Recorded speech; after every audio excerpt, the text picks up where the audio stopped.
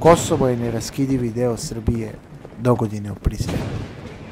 Naručite naše majice na sajtu balkaninfo.rs. Dobar dan, poštovani gledalci, ovo je emisija Aktuelno produkcije Balkan Info. Ja sam Aleksandar Pavković. Naši današnji gosti su gospodin Nenad Šipka, direktor Centra za forenzička istraživanja iz Novog Sada. Dobar dan, gospodin Šipka. Dobar dan. I uh, gospodin Zoran Vučurović, otac tekstopisca i kompozitora Velibora Vučurovića, koji je nesrećno stradao i čije ubistvo još uvek ne razjašnjeno. Tako Gospodin je. Vučuroviću, hvala i vama. što Hvala i vama na pozivu. Evo za početak da kažemo, dakle, kako je stradao Velibor. Hoćete vi da ispričate Zorane ili, ili da ja kažem? Možda vi bolje, ajde kažemo, možda biste vi bolje mogli da kažete Pa kad ste, više detalja nego ono što je pisalo u medijima. Pa kad ste mi dali šansu da kažem ja, ja bih to teška srca ovaj, govorio, ali u interesu istrage i pravde ljudi čine i mnogo veće stvari. Dakle, vi me pitate kako je moj sin stradao te noći. 27. marta 2010. godine oko 21 čas moj sin izašao u šetnju i na bulevaru Jaše Tomića u Novom Sadu neko je prije 21 časa sa visine preko puta njegovog kretanja ispalio hitac, pogodio našeg sina u teme, metak izašao ovdje ispod levo uveta i na mesto ga usmrtio.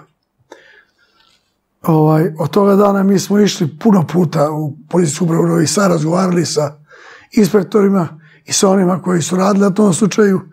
Međutim, neke vajde od njih do današnjeg dana, devet godina je prošlo sada, deseta je počela da teče, nema. Baš bukvalno kao da se nisu pomerili sa vrde dečke. Kao da sam javio prije nekoliko dana da je moje dijete ubijeno. Tako da sam i ja i moja supruga i ljudi koji su nam pomogli bili na mnoga vrata, zakucali, pričali, pisali našim političarima, vodećim, ne treba da ih imenujem, to je sve poznato, ministru policije, gradonačelniku Novog Sada i direktoru policije u Beogradu i nekad onom slavnom ovaj, zaštitniku građana iz Beograda, ali to je sve, nažalost, ostalo bez ikakvih rezultata i na obećanjima. Ta obećanja traju i dan danas. A rekli su nam lepo, po sto puta, taj slučaj je prioritet za nas. I njega ćemo da radimo prvo. Mene se čini kako što vreme više uđe, da će on to biti zadnji, dole do fioku, u potonji, a ne prvi. Ne znam što im treba da obećavaju ako ne rade. A, kažite mi, a, dakle, on je samo izašao, Velibor je samo izašao iz kuće i kretao se, dakle, tom ulicom Tako i je. potpuno sam je bio. Tako je. Padala je mala kišica ovaj, i on išao kod svog prijatelja, kretao se sam, onom pešačnom stazom, razmišljao o svojim pesmama, poznaje dobro.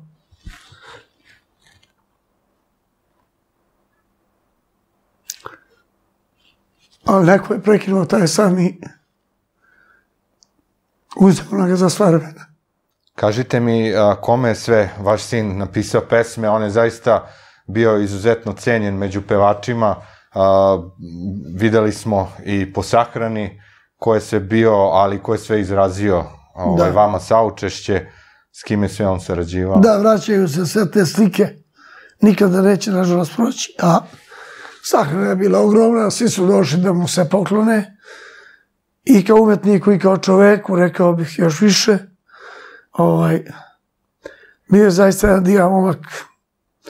I sad nema toga koga nije žalio. Izgleda sam ubice koji je povukao oros. Taj nije očito imao srca. Ovaj, svi drugi počeši od Nedeljka Bajića, Baje, Jovana Perišića, Usnije Ređepove, braće Matić, koji su mi prijatelji, Maje Marijane, pa sve do kralja narodne muzike, nažalost, čovjeka kojega sada nema, našeg Šabana, i za njega je radio divnu pesmu i hit, ali što je najvažnije, svi su ga volili kao čovjeka, ova umetnička, sa umetničke strane je također bio izuzetno dobar Jer je to što je radio, voleo i znao da radi. Voleo je mnogo to da radi i znao je. Ja sam bio puno ovaj, upućen jer sam s njim puno pričao i slušao ga krijući kad piše pesme, kako on to radi i kako stvara.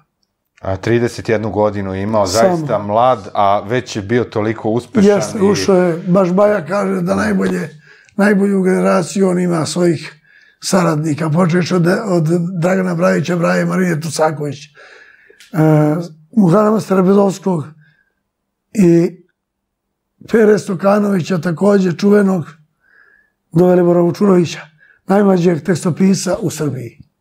Najmlađeg. E sad, kažite mi, a, kad, a, kako ste vi saznali uopšte za tu tragediju? to ću pokušati da kažem, zaista to, to, je, to je strašno, to je strašno teško. Baš smo bili zadovoljni, moja porodica. I čerka i zet i moja supruga i ja. Ovaj, bili smo bezbrižni s njima. A te noći 27. marta neko je oko jedan čas posle iza ponoći zazvonio na vrata i bukvalno više puta na ono zvonce, pa smo se trgli iza sna i uplašili. Izašla je supruga, videla je dvojicu policajaca da stoje na vratima i pitala, jer kući Zoran čuva sam tamo iz sobe. Da tiho pita, rekla je, zovite ga. Ja sam došao, gledam ih onako bunovan. Samo sam držao palac da nešto Veliboru ne bude. Odmah mi je došlo to silnu glavu. Pošto sam se plašio za njega posljednjih godina i po dana, dolazile su mi neke crne misli, čutao sam, nisam nikome govorio straha. Samo sam sećan se ovako uradio da ne bude nešto za njega. Nažalost, pitao me, jeste vi Veliborov otac, jeste ti Zoran? Rekao sam, jesam. Malo je čutao, onda mi je pogledao u oči i rekao, nažalost, vaš Velibor je preminuo. Već sam govorio i drugim televizijama, tada se srušio ceo naš svet. Supruga je došla ratar, zamolila da nije pala u nesvijest, kaže da ne veruje. To nije moguće, izgleda da je to greška. Nažalost, brzo smo se uvjerili da je to sve istina. Zašto se dogodilo? Kako? Do današnjeg dana ne znam. Sve, o svemu tome bi nam, vam, vama medijima mogli više reći. Oni koji su učestvovali u tome i oni koji su radili na tome. Makar radili onako kako su radili, nisu radili nikako, ali opet znaju više od nas. Jel? Od nas. Evo, ima dobrih ljudi koji hoće da urade, da pomognu. I pokušat ćemo i učinit ćemo sve da do istine se dođe. Nećemo stati. Dok živimo, stati se neće. Pa dok ćemo sti vidjet ćemo. A, samo da vas pitam kako je izvršena sama, ajde da kažemo, dakle kako je Yes. samo mesto zločina bilo obezbeđeno i da li ste vi zadovoljni kako urađena ta analiza na licu mesta, dakle, Da, mi smo... taj uviđaj policijski. Mi smo kad smo dolazili tražili da vidimo uviđaj i dosadašnji radu, to što su dali, nismo imali, verujte, mnogo toga da pogledamo, ništa konkretno. Onda smo mi nakon tri i po meseca tražili, pa smo došli zajedno sa njegovim drugovima iz Fegedića i Lovđenca da, da prekopavamo sami taj teren tamo na bulevaru Jaša Tomića. Čekajte, vi ste posle tri meseca došli na to Jeste mesto tri i da, po meseca. da, da, da vi tu nešto Tačno. pokušate da pronađete. Tačno. Oni, kad smo mi došli da vidimo šta su oni uradili, samo na par mjesta sam našao ovako neke udubine, kao da je golubije gnezdo, gospodine. Kao da je golubije gnezdo. Čudili smo se kako se može naći zrno tu, tamo, vamo, valjda se treba prekopati, naći sa detektorom, a ne na pamet. I mi smo tražili da mi to uradimo, gradsko zelenilo nam je to dozvolilo, došli su njegovi drugovi jako ovaj, su to odmah prihvatili sa željom i radeći tih četiri sata uspjeli su da nađu jedno zrno sa detektorom, jedno zdravo zrno, možemo reći 90%, ispravno, samo na vrhu je malo počelo da oksidira, znate, zbog toga što je bilo u, zemlji.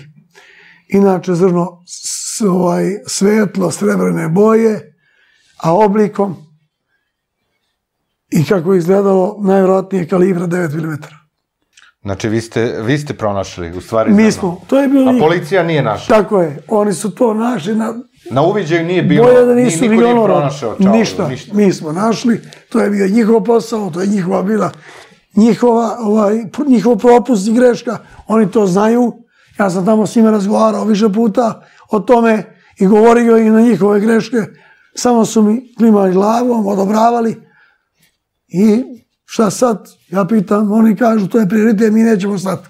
Ali mi kako vidimo stali su davno. A su bili forenzičari? Mi forenzičari, ne. Tu noć, zamislite, rekao nam je forenzičar Belić, oni, oni su njega zvali tek u ponedeljak ujutro.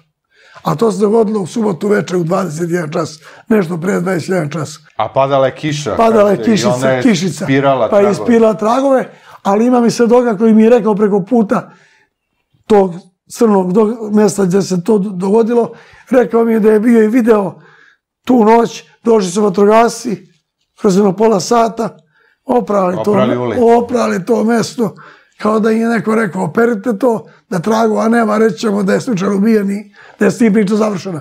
Međutim, oni se varaju, jer su mi novinari i svi ljudi koji rade na ovom slučaju rekli da tu mnogo toga nešto ima i da ćemo vidjeti da se to popravi. A kažete mi to zrno koje ste vi pronašli kad ste odneli u policiju, šta su rekli? Kad, kad je to zrno pronađeno, ja sam očeo kod tehničara tamo, sam molio da mi ga pokaže. I on mi ga je pokazao na dlanu. Posmatrao sam ga na desetak sekundi, dobro ga zapamtio, crtao sam ga tamo policajcima u, u, upra- u policijsku upravu. I tu je bio prisutan sa mnom gospodin inspektor Jovan Maksić, koji se sad trenutno nalazi na izdržavanje kazne zbog također neke svoje nemarnosti i greške koju je uradio, a to je da je bio na, posle nas, kod mene je bio kući, posle koji mjesec on je išao na uviđaj u Bač kod penzionera koji je ubijen u kući i kad je posmatrao po kući stvari, našao je 33.000 evra koje je prisvojio, odnio ih sa sobom i to je otkriveno jer je sestra od pokojnika se žalila i to kad su ga pritisli priznao je, sad je tamo. Malo je dobio da je bio običan čovjek, kao ja i vi dobili bi 33 godine.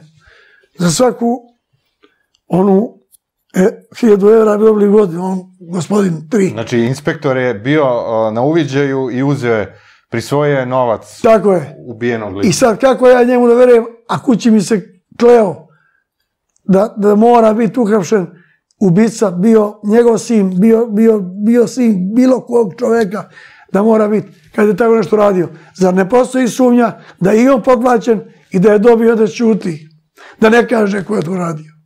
Po ovome što je on radio, velika sumnja postoji. I što je najgore, moram to da kažem narodu koji ovo gleda, zrno, kada je dato na veštačenje, još sam mu skrenuo pažnju kada je odlazio, Makso, nemoj slučajno ovo zrno da nestane ili da ga zamenite. Nisi dozvolio da ga fotografišem, da ga imam kući da pokažem porodici. Nemoj slučajno jer, jer znam šta ste vi sve ustaknujete. Kleo mi se da neće i da nema govora o tome. Međutim, kad je forenzičar dobio zrno, kaže nije mogao ni da ga obradi, ni da ga pregleda, ništa koliko je staro bito, bilo. Malte ne kao onaj brod Titanic u moru što je bio 100 godina.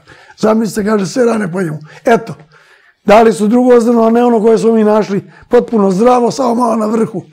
Je po, ja ga gledao svojim očima. Znači, nije moglo zrno toliko da, da kažemo da, da zarđa ili šta već za, Jeste. za tri meseca. Jeste, bio je na dubinu od jedno 15-20 cm i to je tu mirovalo.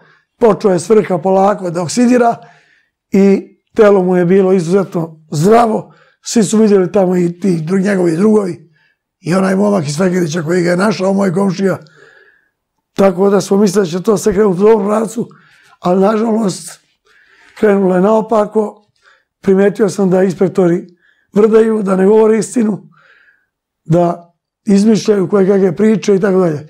Međutim, imao sam sreću da upoznam gospodina direktora forezničke ovaj, Centra za... centra za vruće istraživanje gospodina Šipku, koji me razumeo, slušajući me kao i vi mene sada, i on je rešio da pomogne koliko u njegovoj moći i da, i da se koliko toliko dođe do nekih istina se krene sa mrtve tačke.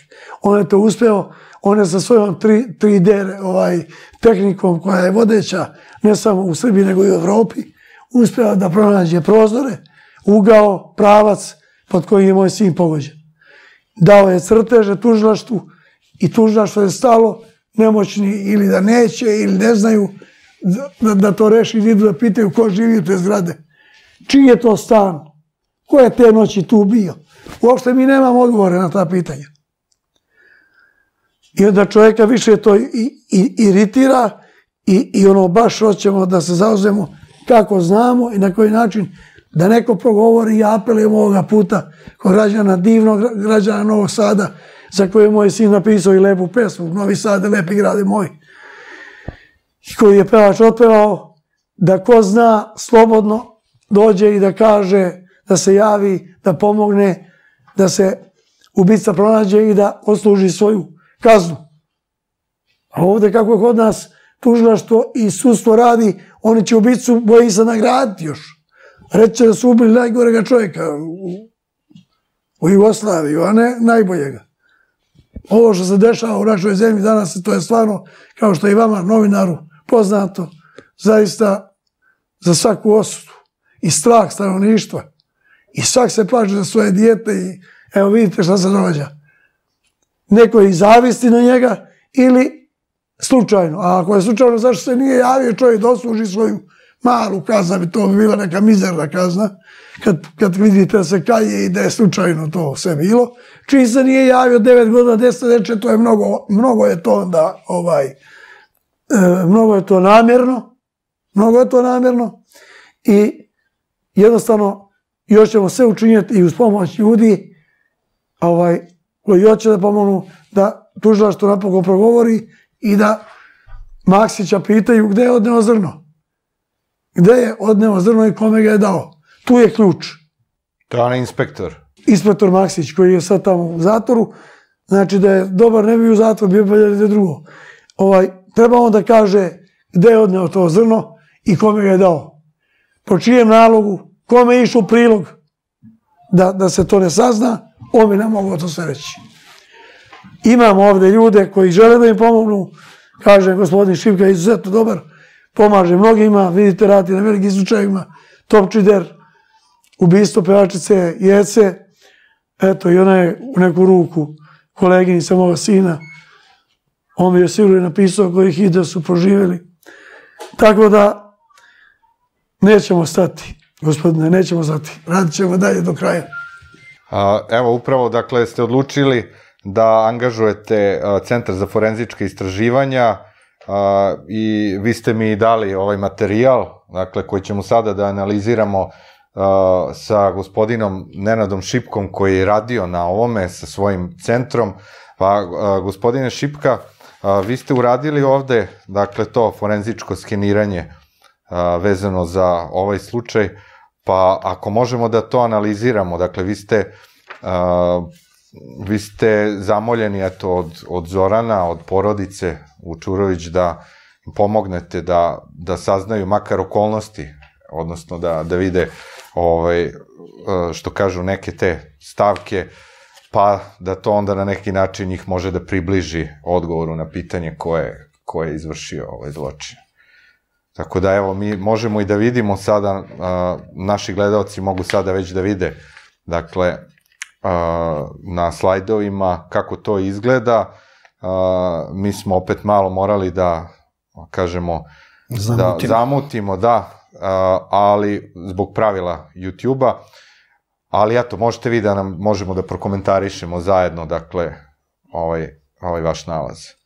Evo ovako, što se tiče ubistva Velibora Vučurovića, prvi kontakt smo stvarili Zoran i ja pre bilo kakve realizacije tog projekta i na neki način taj slučaj je i zasluženo što je ova forenzička 3D rekonstrukcija i laserska tehnologija kompanije Faro i došla u Srbiju, jer nam je to prvi slučaj na kom smo radili.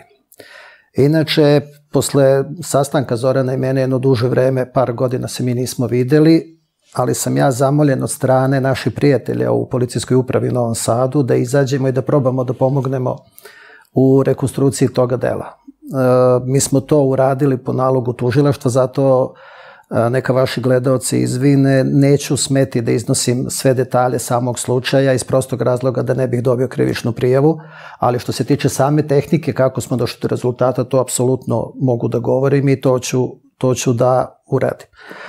Kada smo dobili u posjed dokumentaciju, ona zaista je bila štura i ne bi se trebalo zameriti uh, policiji u delu kada su pokušavali da urade, da odrede pravac odakle došao projektil, iz prostog razloga što ni nemaju opremu koju mi imamo i nisu u mogućnosti da to urade na tako precizan način kao što smo radili mi. Međutim, e, s obzirom da je Zoran malo pre rekao, ja tu stvarno moram iskazati čuđenje da su pustili civile da rade uviđaj, jer to je najveća katastrofa koju su oni uradili kada su uzeli zrno i dali ga inspektoru. Tu su dve katastrofe. Prva katastrofa što nije tačno urađena koordinata mesta gde je pronađeno zrno, gde bi mi tada sa dosta preciznijim rezultatima izašli i odredili mogućnost odakle je moglo da doleti zrno. A druga stvar, bez tog zrna mi nemamo ni slučaj. Znači, dvostruka šteta. Ja sam razgovarao sa našim prijateljima, onda su oni rekli, pa to zrno nije moglo biti tamo gde smo ga mi našli. Rekao, dobro, ako nije moglo da bude tamo kako je bilo. Ja sam razgovarao sa Zoranom, Zoran mi je opisao zrno koje je našao, jer definitivno zrno koje je bilo u zemlji kalibrom i jednostavno nije se, taj kalibar nije mogo da izvrši to krivično delo, ali kroz razgovor sa Zoranom i ta naročito svetlo siva boja ukazalo je na čeličnu košuljicu i to je zrno koje isto nije se spljoštilo, kako mi ga je Zoran nacrto, ukazuje da je moguće da je to zrno. E sad, kod same rekonstrukcije događaja, mi zaista nismo imali ništa sem informacije da je uh, Velibor Vučurović išao ka ulici Rumenačkoj. Uh, ovo je objavljeno i u medijima, ima i snimak uživo, odnosno sa lica mesta, postoji snimak na YouTube-u. Mi smo to pregledali i sada uh, bili smo pred delikatnim zadatkom. Odrediti mogući pravac doleta projektila. Jedino što smo imali, imali smo jednu fotografiju gde je on snimljen na pekari uz put, na trasi kojom je hodao, kako mi je to Zoran objasnio. I mi smo tu imali njegov položaj, kako on hoda, kako drži glavu. Mislim, ništa neobično, ništa specifično, kao i svaki čovek koji hoda kada pada kiša malo povijene glave ka dole, raspon između koraka, između dve noge nije bio preterano veliki i onda smo odradili na, s obzirom da smo imali koordinate pronalaska njegovog tela, mi smo zamišljeni krug oko njegovih stopala napravili sa nekih 75 cm poluprečnika, jer e, naš saradnik e, sudske medicine rekao da je ovde nastupila trenutna smrt, znači razaranje nervnih e, centara u mozgu je bio takav da je do smrti došlo trenutno, što znači da u trenutku pogodka on nije napravio dodatni korak, eventualno je mogo biti delimično zarotiran od udara projektila, ali to bi se sve odigravalo na tom zamišljenom krugu. Eh, izvršili smo prvi put u Srbiji eh, skeniranje prostora i dobili smo trodimenzionalni prostor mesta gde se je događaj odigrao. I taj trodimenzionalni prostor, odnosno takozvani oblak tačaka, smo učitali u software Faro Reality i u okviru tog softvera postoje modeli ljudskog tela, izvukli smo odgovarajući model, dali mu parametre koje je imao i pokojni Velibor Vučurović, e, to je visina i na osnovu položaja glave smo pokušali da odredimo šta ćemo dobiti. E, pod, pogodilo se, tad u tom trenutku nismo ni znali kada smo delimično jedan deo radili naknadno smo saznali za koordinatu kvadranta u kome je pronađeno zrno, ali nis, e, odokativno.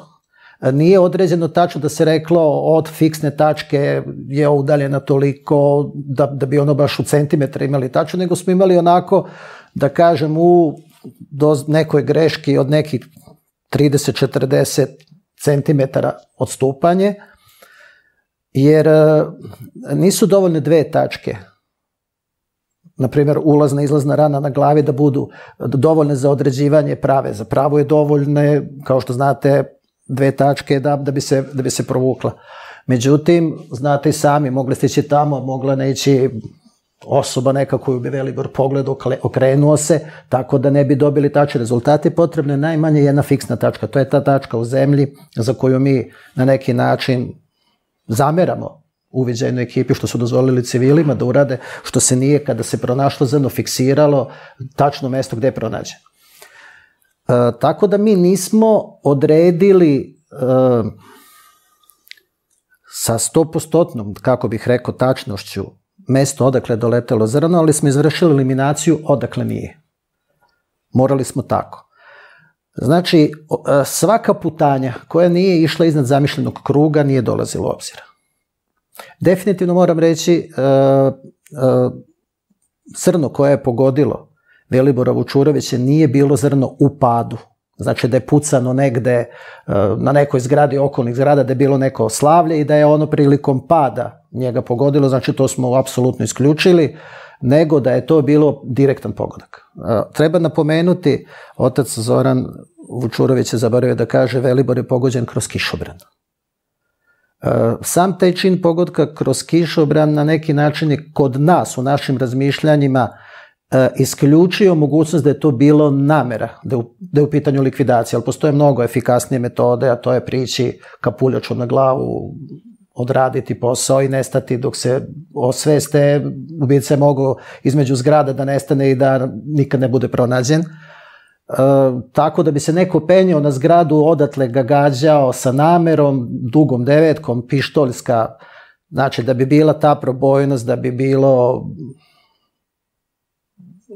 preciznost, to bi morao biti hekler ili ne znam još koji onih automata koji koriste taj kalibar, ali onda ne poklapa se sa razmišljanjima što smo imali sa našim prijateljima i saradnicima, policajcima, jer ubica prvo obezbedi bekstvo, pa tek onda obezbedi da bi izvršio pucanje, ko bi se penio tamo na zgradu, pa odatle izvršio gađanje sa 65-70 metara, nisam tačno siguran rastojanje davno je bilo to, bi trebali, trebao biti strelac više nego profesionalac da bi gađao, ali onda dolazimo do situacije kome bi se jedan kompozitor zamerio na takav način da bi se angažovali profesionalne ubice koje bi gađale snajperima.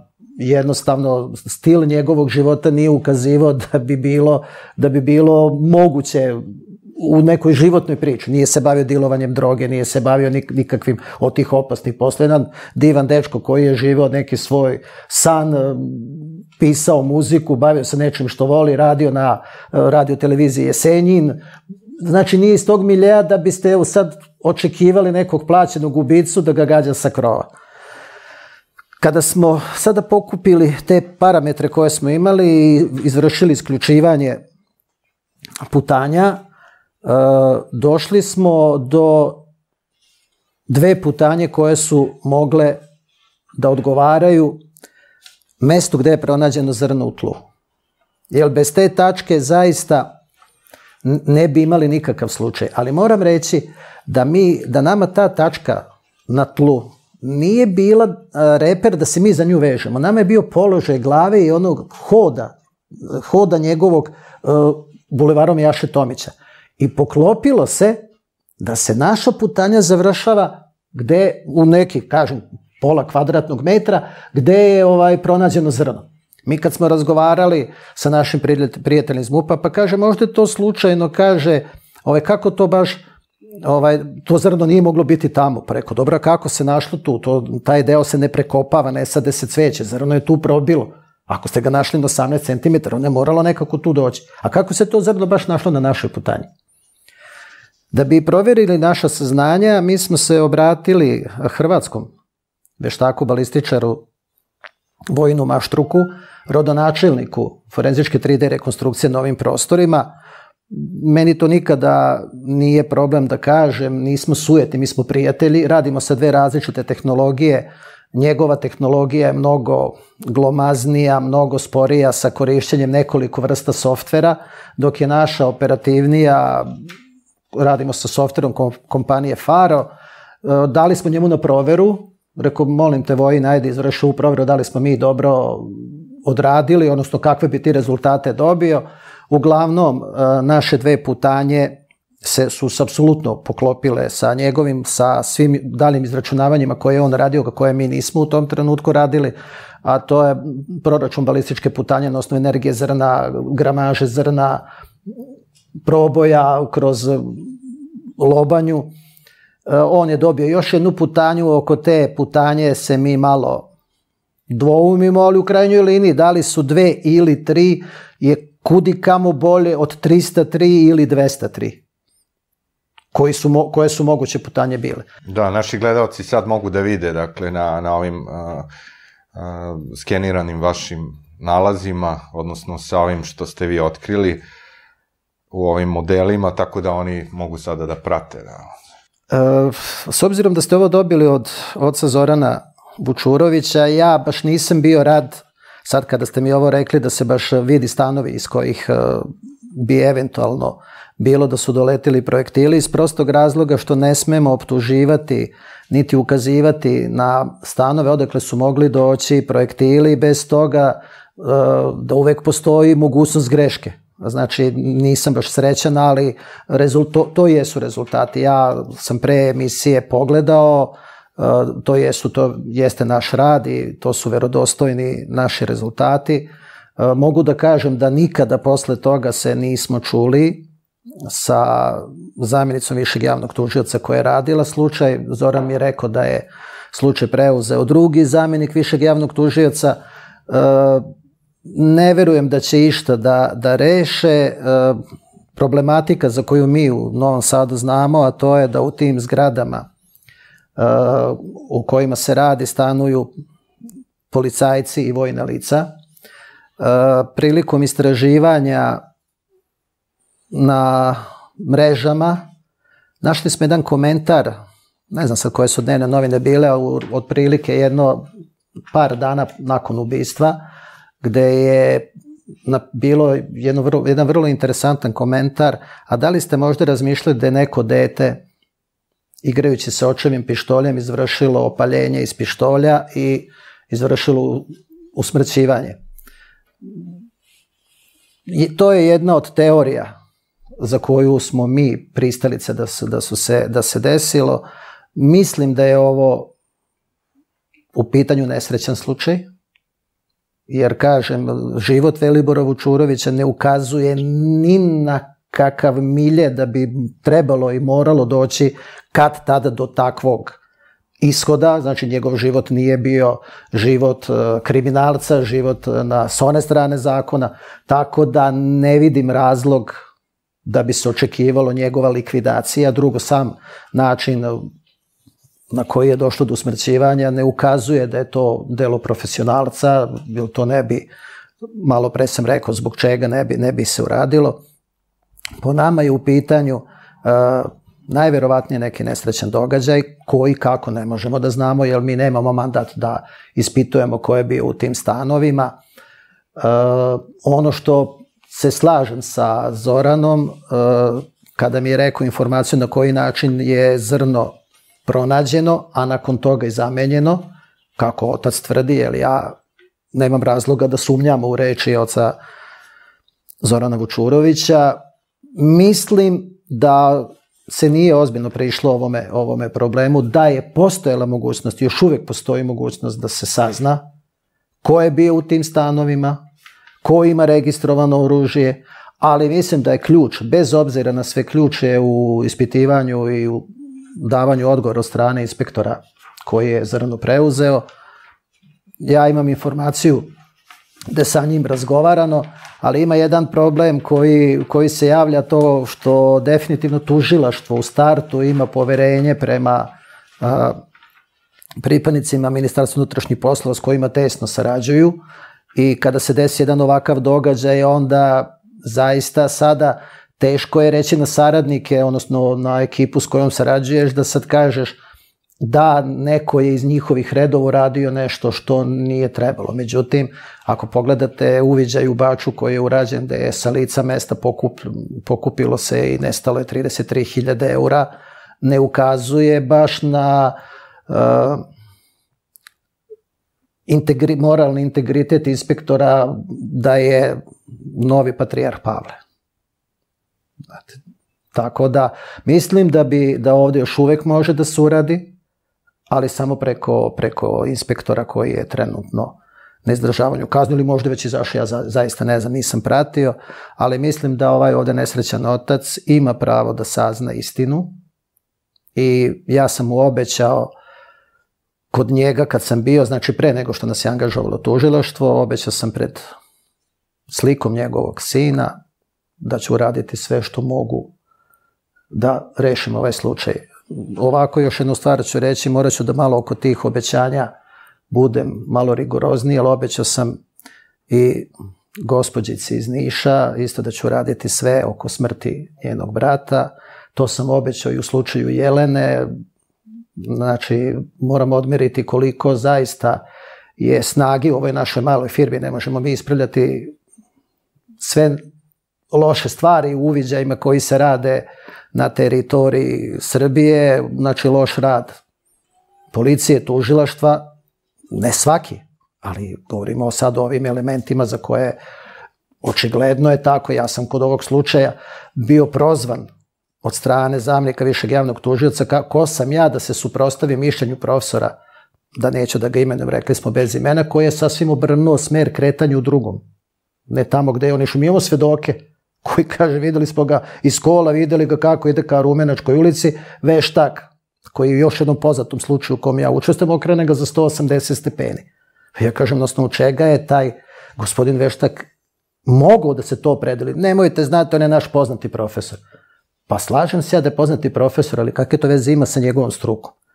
Ko ste vi da vi tako izjavljujete? I tad sam bio izrevoltiran ja onda otvorim laptop i okrenem prema načelniku policije, sve se dešava u policijskoj upravi. No, Sadu je pitao, znate, su novi, nove uniforme vaših policajaca?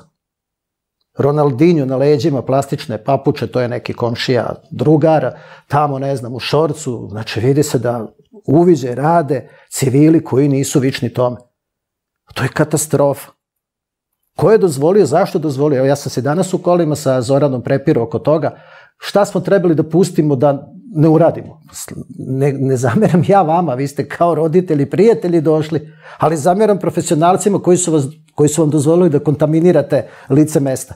A to nije bilo slučajno. Znači, to me niko ne može ubediti da je bilo slučajno da nema u policiji ljudi koji će ašovima, motikama, krampovima, čime tim prekopati. Tu ne znam je li bilo 10 kvadratnih metara prostora da bi se prekopalo. A kažite mi, vezano za to zrno koje je pronađeno i ovo što je Zoran rekao da, da to zrno ne odgovara onom kasnije, Jeste vi tu nešto Ja sam to sa Zoranom, sa Zoranom pričao, ne, neodgovarajući kalibar, on mi je pokazao fotografije kod njega, znači opet uvek moram da se ovo pa, pažljivo izražavam, da ne bi ispalo da iznosim nešto što sam neposrednim opažanjem od dokumenta koje, koje sam video, ali putem svog pravnog, brani, pravnog zastupnika porodica Vučurović je dobila kompletan materijal iz tužilaštva, tako ste vi došli u posed ovoga materijala koji smo mi odradili. Uh, video sam na fotografiji to zrno, to zrno koje je veštačeno, nema šanse da je provelo tri i po meseca u zemlji, to je zrno koje je provelo tri i po godinu u zemlji. Jer nemoguće je toliko da zarađa, da toliko, on, on nije oksidiralo, on je zarađeno, jednostavno upotrebljivo. Kao da je provelo stvarno desetine godina u zemlji. I nije odgovarajući... Ali otkud baš tu da se nađe zrno na, je li to slučajnost? Pa zamenjeno je po priči Zoranove, kako je on nacrtao zrno koje su oni našli. To je zrno koje je ovako na opis je zrno od duge devetke. Zrno koje je pronađeno je zrno koje odgovara kalibru 7,65, na primjer koje nema nikako dovoljnu količinu energije sa tog rastojanja da izvrši probijanje ljudske lobanje i završi tu u zemlji gde je završio. Duga devetka, taj kalibar, 9 mm, sa čeličnom košulicom ima dovoljnu energiju da izvrši prodor kroz lobanju, da se zarije u zemlju, a da se ne deformiše. I na osnovu toga što je meni Zoran crtao i pokazivao, i na osnovu onoga što sam pročitao kod njega iz obdukcionog zapisnika, tada sam, još nisam radio za tužilaštvo kada si mi pokazao kod sebe kući, gde se kaže da je, da je mogući kalibar ili 7,62 ili 9 mm za ranu na Veliborovoj glavi. I ono što smo mi odradili za čega stojimo, to je na osnovu ako se kretao kao što se kretao, položaj glave, položaj nogu, znači sve su to indicije, mi stojimo da nema puno putanja na osnovu po kojim je to zrno moglo da pogode Velibora, mi smo došli do dve, maštruko do tri, ajde neka bude i tri da prihvatimo, sad je dalje na državnim organima koji jedini mogu da vrše uviđaj, odnosno i dalje ispitivanje, da se utvrdi ko je stanovo tamo, ko ima pištolj, da li ima neke veze, neko od njih sa nekim iz eh, policijske službe ili iz vojne, zna se ko koristi dugo, devetku kalibar. Znači, jednostavno da se operativnim radom dođe do nekih rezultata. Ovako, mm, ja sam Zoranu rekao, nažalost, ali mislim da nikada neće saznati ko ti je besina. Ali opet ovo, mislim da je ovo uh, ključno da policija, odnosno oni koji su radili uviđaj te noći da nisu pronašli nikako zrno. E, to je, to je nešto što je jako čudno. Zrno je pronađeno u zemlji. Ali kasnije. Tri i po meseca. Da. Kako, kako policija nije mogla ili ko je već radi uviđaj da pronađe? Pa to je moje pitanje isto, što je vi pitate, pitam ja, zašto nisu sutradan kada su već izašli, oni su imali geometre i probali su putem totalnih stanica, kažem, ne mogu, nisu dobro odredili ugao, jer kada određuju ugao prolaska kroz telo koje, koje se nalazi na, u vodoravnom položaju, na stolu, obdukcijnom stolu i ugao taj kada primenite, uh, prebacivo je preko zgrade, mi kada smo radili, uzeli smo u obzir prolazak kroz telo i pomeranjem glave zadržali smo kako, je, kako bi on hodao sa kišobrano, tada smo dobili putanju koja je gađala negde. I pomeranjem po tom krugu, koji sam rekao da je 75 cm bio. I upravo tu bilo to zrno koje je... I onda smo našli, da. dva prozora smo našli, dobili smo u pola kvadratnog metra da je naša putanja gađala mesto gde je, gde je zrno pronađeno. Da smo imali tačnu koordinatu,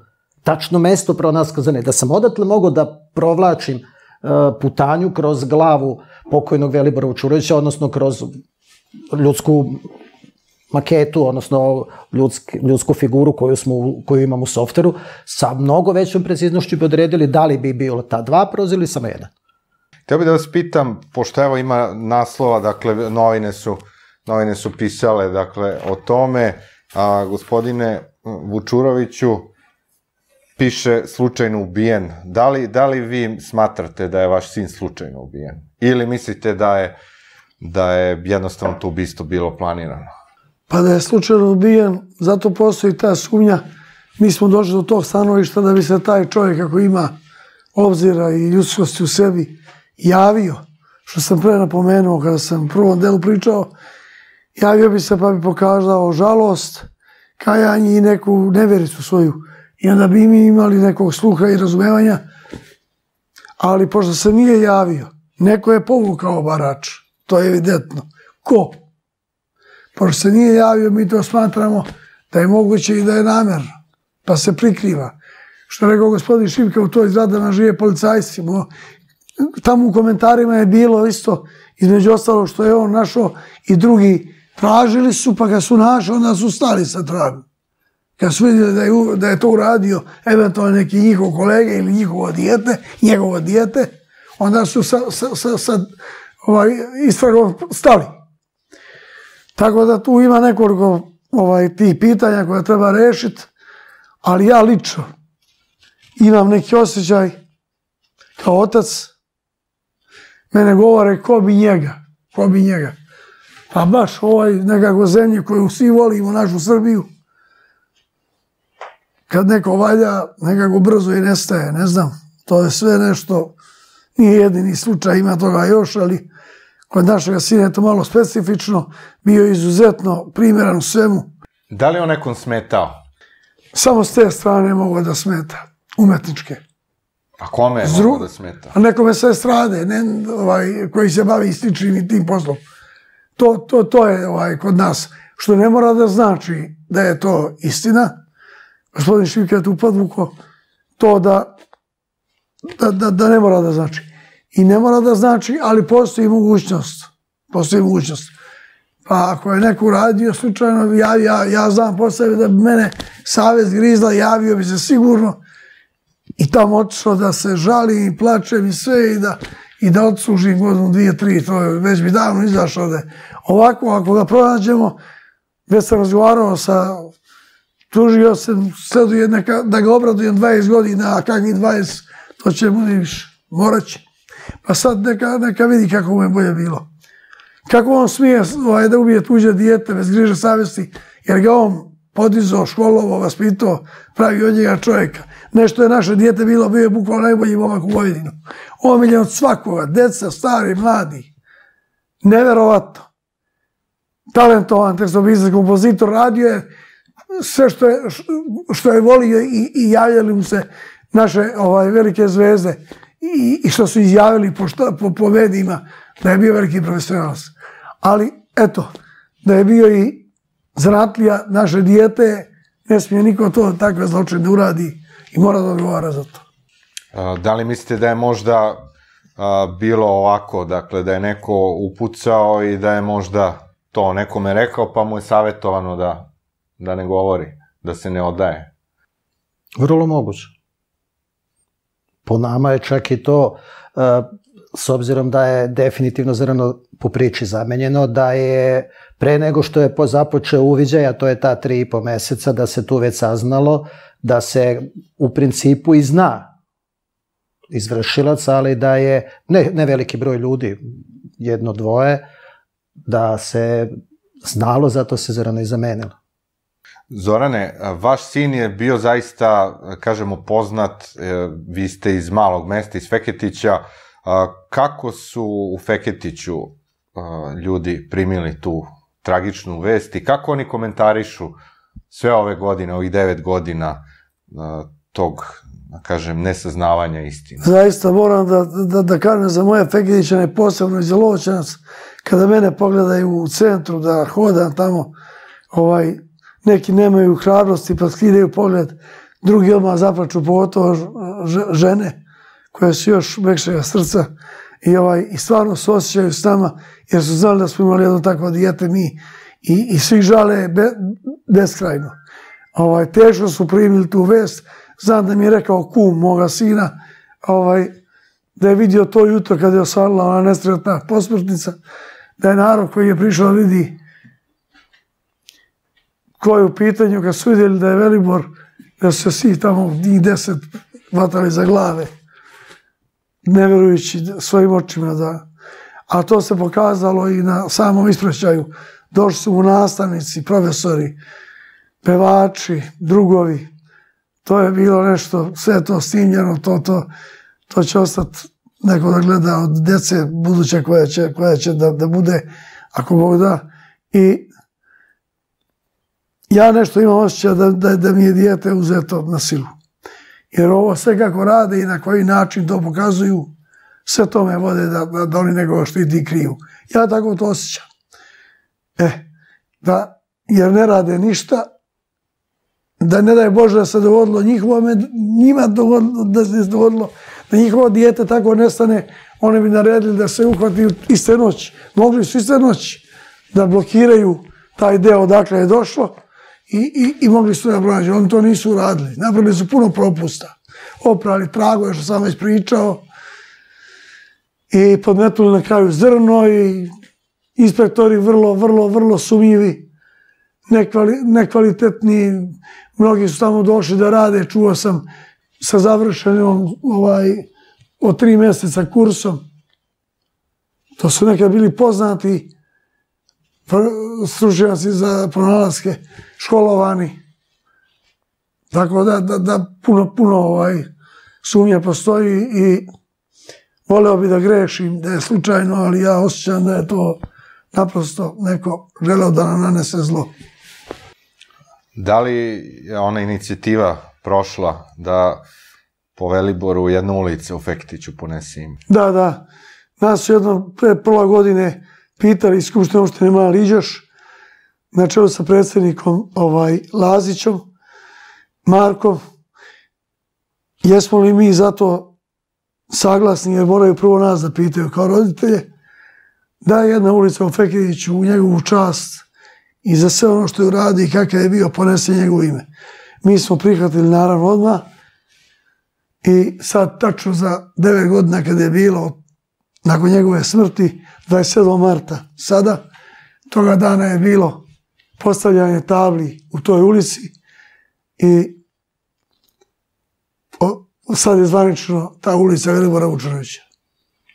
Eto, makar e, su se, kažemo, su ugrađani na neki način odlučili da, da sačuvaju uspomenu na... Tako je. Na Velibora. još nameravaju, kako sam čuo, onda ima jedan dobar lep prostor da bude e, trg fegetičkih velikana. Ima još tu momaka koji su zaslužili nešto slično, pa da bi napravili jedan tu park i, njihove ploče stavili. Ovaj, pa ćemo vidjeti u dogledno vreme, to su najavili iz opštine da bi se moglo uraditi. Pa ćemo se potruditi da bude to jedan trg tih fegetičkih zaslužnih građana, kako bi rekao. Ima slično isto futbaler Dragan Miranović koji je bio kapitan Spartaka i koji je tragično isto izgubio život u inostranstvu. Ovaj, pa borci koji su bili u ovom prokletom ratu dali su život za nama za slobodu. Ima, ima, može. Vidjet ćemo po mogućstvu i po uglavnom načelni dogovor postoji. A, ipak najveća, da kažemo, najveća stvar koja može da se uradi za Velibora je da se otkrije onaj ko je njega ubio. Tako je, gospodine, mi živimo za to da vidimo ko je, da ga pogledam, pitam, da ga pitam zbog čega i zašto. Iako je namjerno, eventualno komu je dao nalog za tako nešto. Eto, zato živimo, bit će nam neku, neku meru lakše, jer ovako pitaće mi neka tamo, jesam li našao onoga koje ga je odvojio od njegovih voljenih i onih koji je on voleo. Tako da stvarno živimo za to da, da jednog dana saznamo. I molim medije i sve da nam pomognu u tome da ne dozvole da ovaj slučaj padne u zaborav, jer on to nije zaslužio.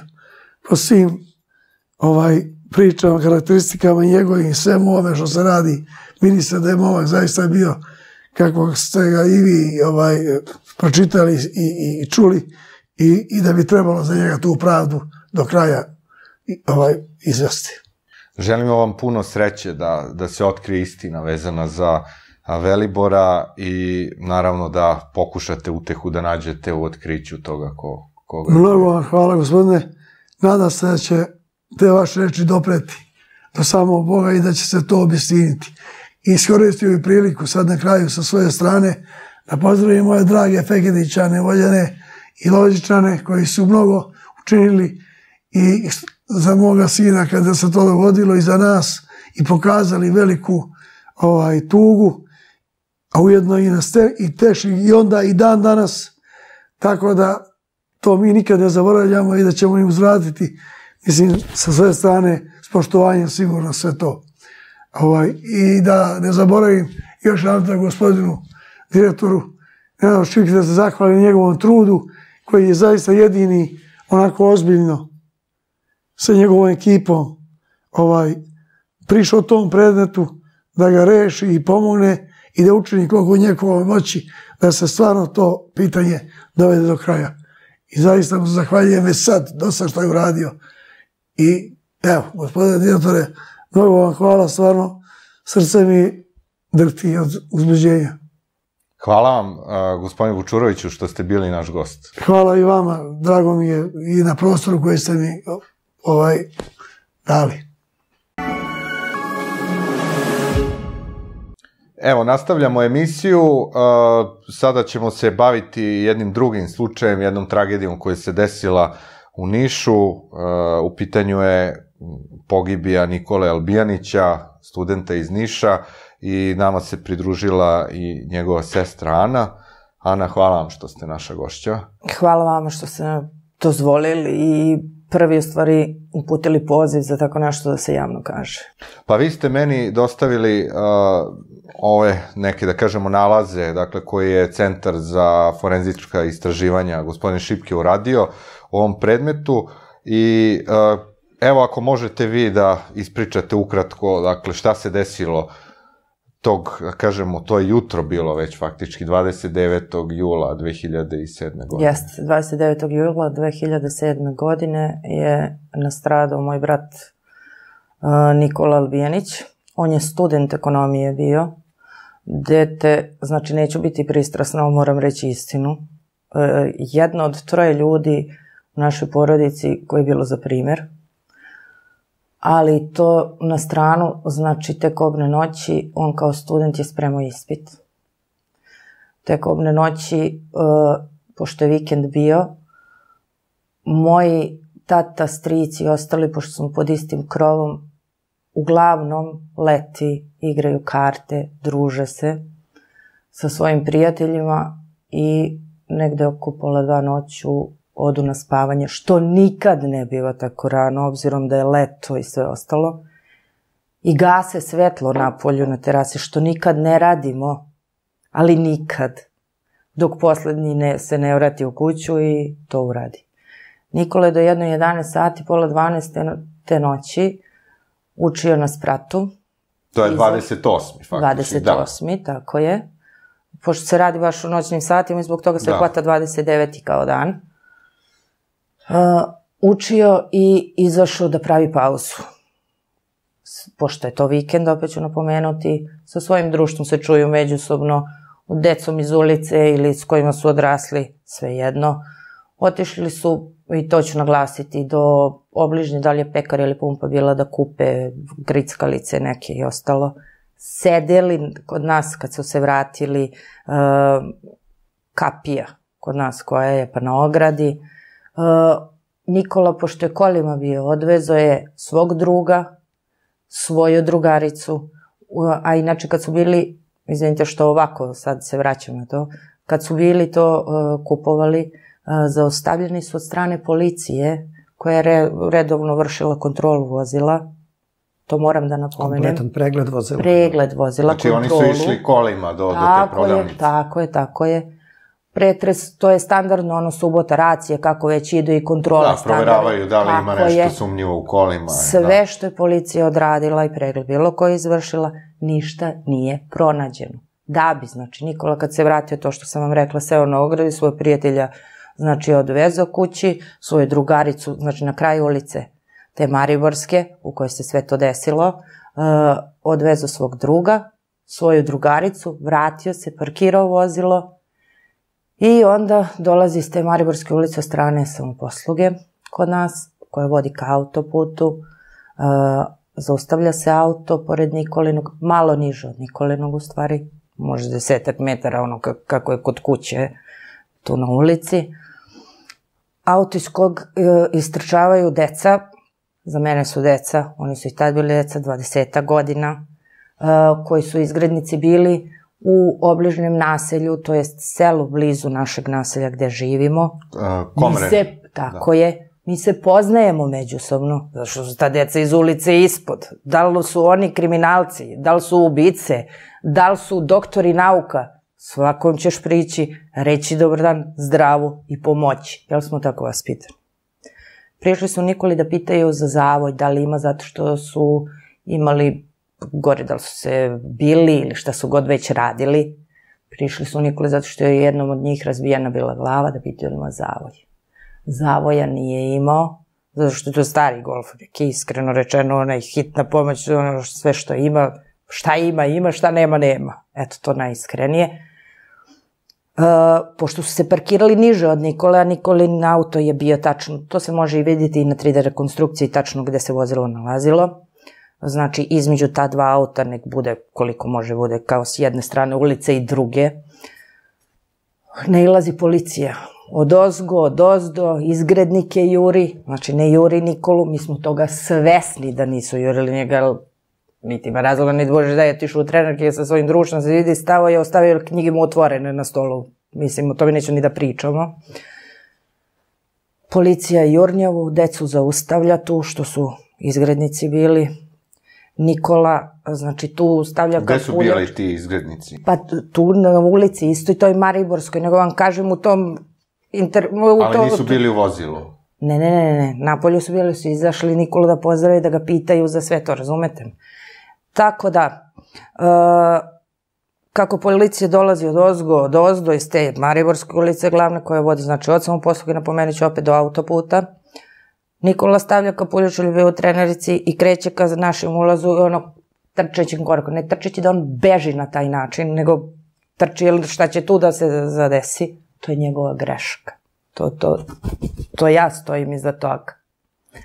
U smislu toga, da je stalno, on nikad nije imao problema sa zakonom, nije bio uh, prekršaj za auto imao, nije se u životu potukao, nije se, zato što je sportista, dobar đak i sve, to kažem vam, napominjem, nisam pristrasna, ali mora da kažem ono što jeste, jeste. Prećete od mene očekivati da se potučem s nekim, no što bi od njega ko muškarca to očekivali. Znači, i džentlmen je, i nežan, i pažljiv i sve ostalo, znači sve je držao kao malo vode na dlanu. Samim tim, kad je Nikola pošao, uh, kad su već policajci ostalo decu tu uz ogradu, naslonili, što god već, udarali u stvari, to su svi videli, da su ih udarali, da bili, da maltretirali. Nikoli su rekli, stoj policija. On je dalje ušao u dvorište, naše dvorište, naše kuće. Gde policajci kreću za njim. A, po iskazu sad policajaca, iskreno rečeno, Jedni kažu da su ušli, njih četvorica. Jedni kažu da su dvojica ušli, dvojica gornjom ulicom. Jedni kažu da su poprečno izlazili na tu ulicu. Pošto kako je naša kuća, znači imate ulaz u naše dvorište, a iza kuće je ta Biokovska ulica gde su na kraju Nikolu našli. Ali ne na kraju naše kuće, nego na kraju druge kuće, pored naše, i to znači ima naša kuća, pa imate prostor gde je vozilo ono kao garažni prostor, pa druga kuća, pa garažni prostor gde je kapija da Nikolu tu nađu. Dakle, Nikola je ušao u svoje dvorište. Tako je, tako je. I policija je za njim išla. Tako je. Uh, definitivno. Mi, iskreno rečeno tvrdimo, Nikola se nije sam ubio. Kažu da ima kod sebe pištolj. Govorim kažu. Uh, zato što po uviđaju Samo uh, recite Izvinite kako je on... retrospektivno ne kako je on, znači, uh, redosledom. on je, on je prošao svoju, dvo, znači vaše dvorište, To je sve priča. Prošao je naše vi dvorište. ste, vi ste tad spavali, vi, vi niste... Moji su spavali, ja tad nisam bila tu. Vi ali vam nis, niko sve nije kažem. čuo tu gužvu, ništa. Svi su čuli taj metež. Svi. Izašli su dosta iz komšiluka. Što na terasu? Moj tata je izašao na ulicu ovamo i pitao šta radite to deci, zašto ih bijete? A s druge strane je bio... A s druge strane Nikola. kuće, moj brat leži mrtav. E, e, Nikola ispada da protrčava naše dvorište, da protrčava znači taj deo, da protrčava taj deo, to je kuća mog pokojnog ujaka, da protrčava njegovu kuću, to dvorište i da izlazi na kapiju. Da bi rekli da na samom ulazu kad je Nikola ušao u dvorište naše, se začuo pucanj, da e, je on pucao na policiju, da su to oni mislili, govorit ću po znacima navoda, znači to su samo izjave sve njihove, da su oni mislili, znači da je on pucao na njih, e, da bi Nikolu našli mrtvog drugu stranu. Gde? Komšije kažu da su ga izvela dvojica. A, znači, s jedne strane, gde je naša, kako je naša kuća, Dvojica imate s leve? Ko- koji policajaca, dvojica? koji su, u, sad oni ne znaju likom koji su, ali su polica, policajci u uniformi. Drugi komšija koji je s druge strane, gde je Niđa nađen, isto gleda to, pošto je leto bilo. To je, koliko god da je mrak, od četiri već ujutru, se vidi. Leto govorim. I plus toga ima ulično osvetljenje. Ne u uličici baš tu gde je Niđa, ali ulično osvetljenje. Glavne ulice, druge poprečne ulice i svega ostalog. Vidi se. Mimo toga policajci nigde uveče ne idu bez lampi i svega ostalog. Koliko god šta god da su osvetljili, drugi svako može isto da gleda koji i oni očima što vide bilo šta drugo.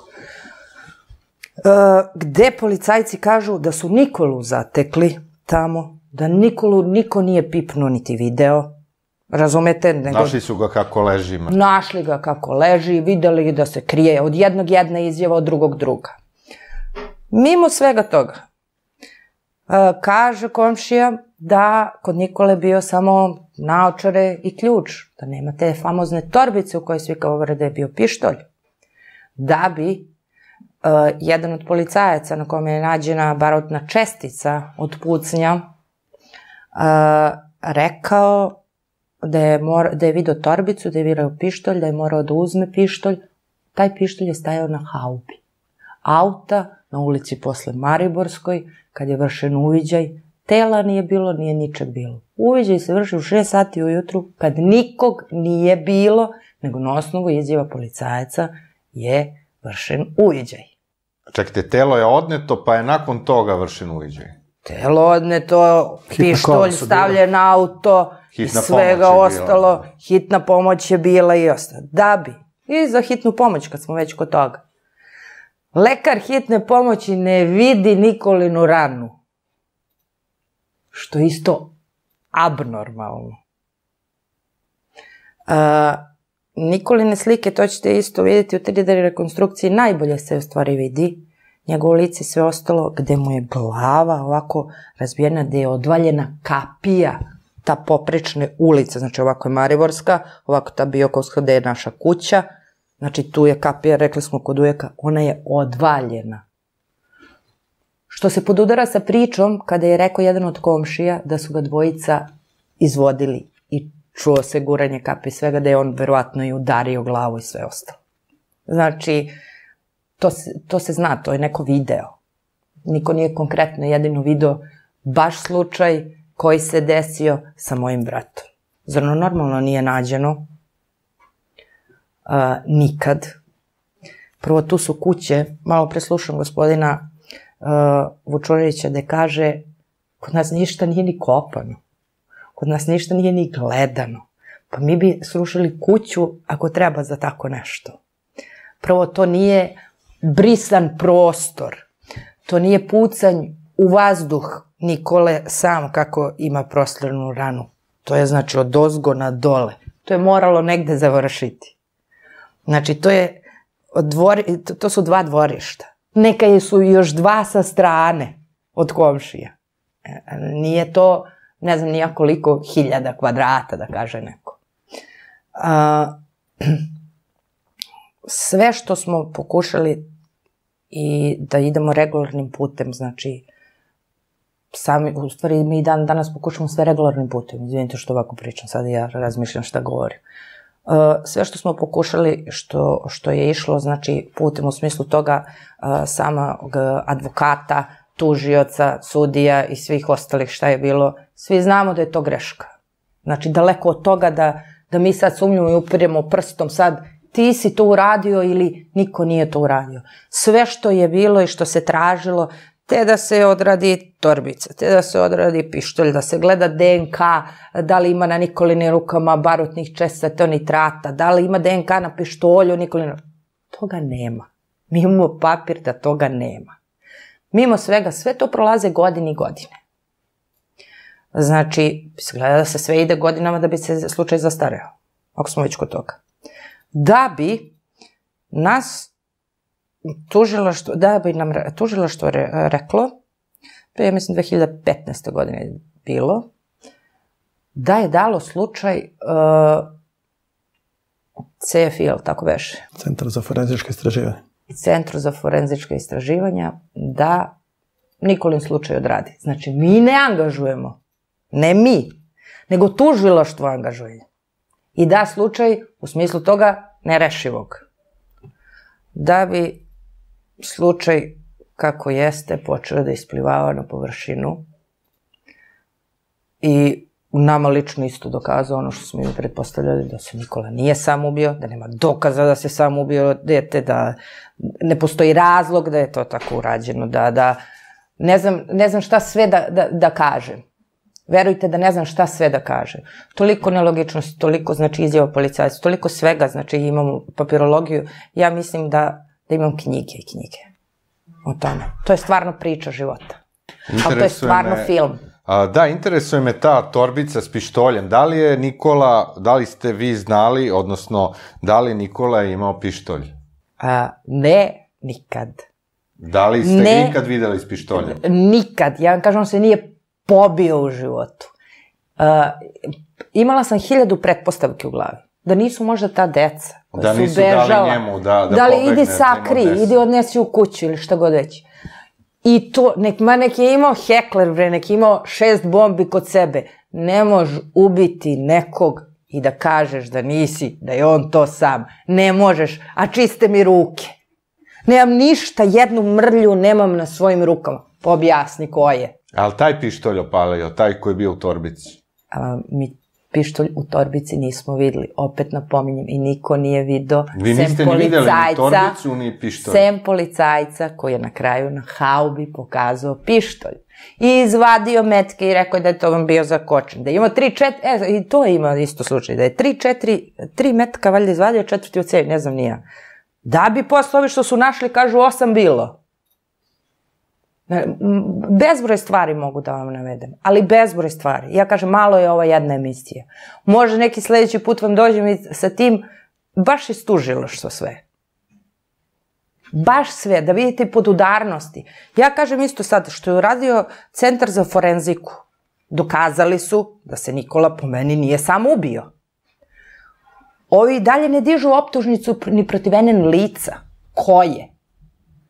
Pa ja kažem, kao što su oni to dokazali, pobite to, to njihovo. Vi ste tražili od tog gospodina Šipke da dokaže nešto. On je čovjek dokazao ono što smo, u što smo mi verovali, to se vama ne sviđa, ali dokažite vi suprotno od njegovog. Evo ja to tražim.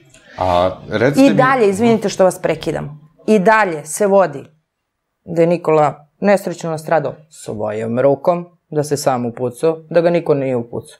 Pa dok bre medijski nek izađe, neko neka kaže, to dete se nije samo ubilo. NN lice, može se nikad i ne dokaže ko je. Evo malo pristo, uh, gospodin Vučurović kaže, neko će se javiti. Neće se niko nikad javiti. Niko nikad. Tih savesnih ljudi možda više nikad u životu nećemo ni naći, ni roditi, ni izroditi, ni Bože, bilo kako god. Znači, to vam govorim jer po sebi znam.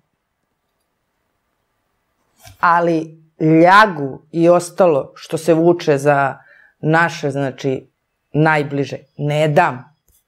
Znači, ne dam. Ne dam da neko kaže da je on takav i takav zato što ste vi takvi i tako. Ne dam, jer nije istina. Niko nikom ne traži znači da lažu. Niko nikom. Ja kažem, vi ste kao, kao države angažovali nekog forenzičara, nekog kog mi ne znamo, nismo ga mi angažovali. Taj neko je potvrdio, zamislite, ono u što smo mi sumljali u vas.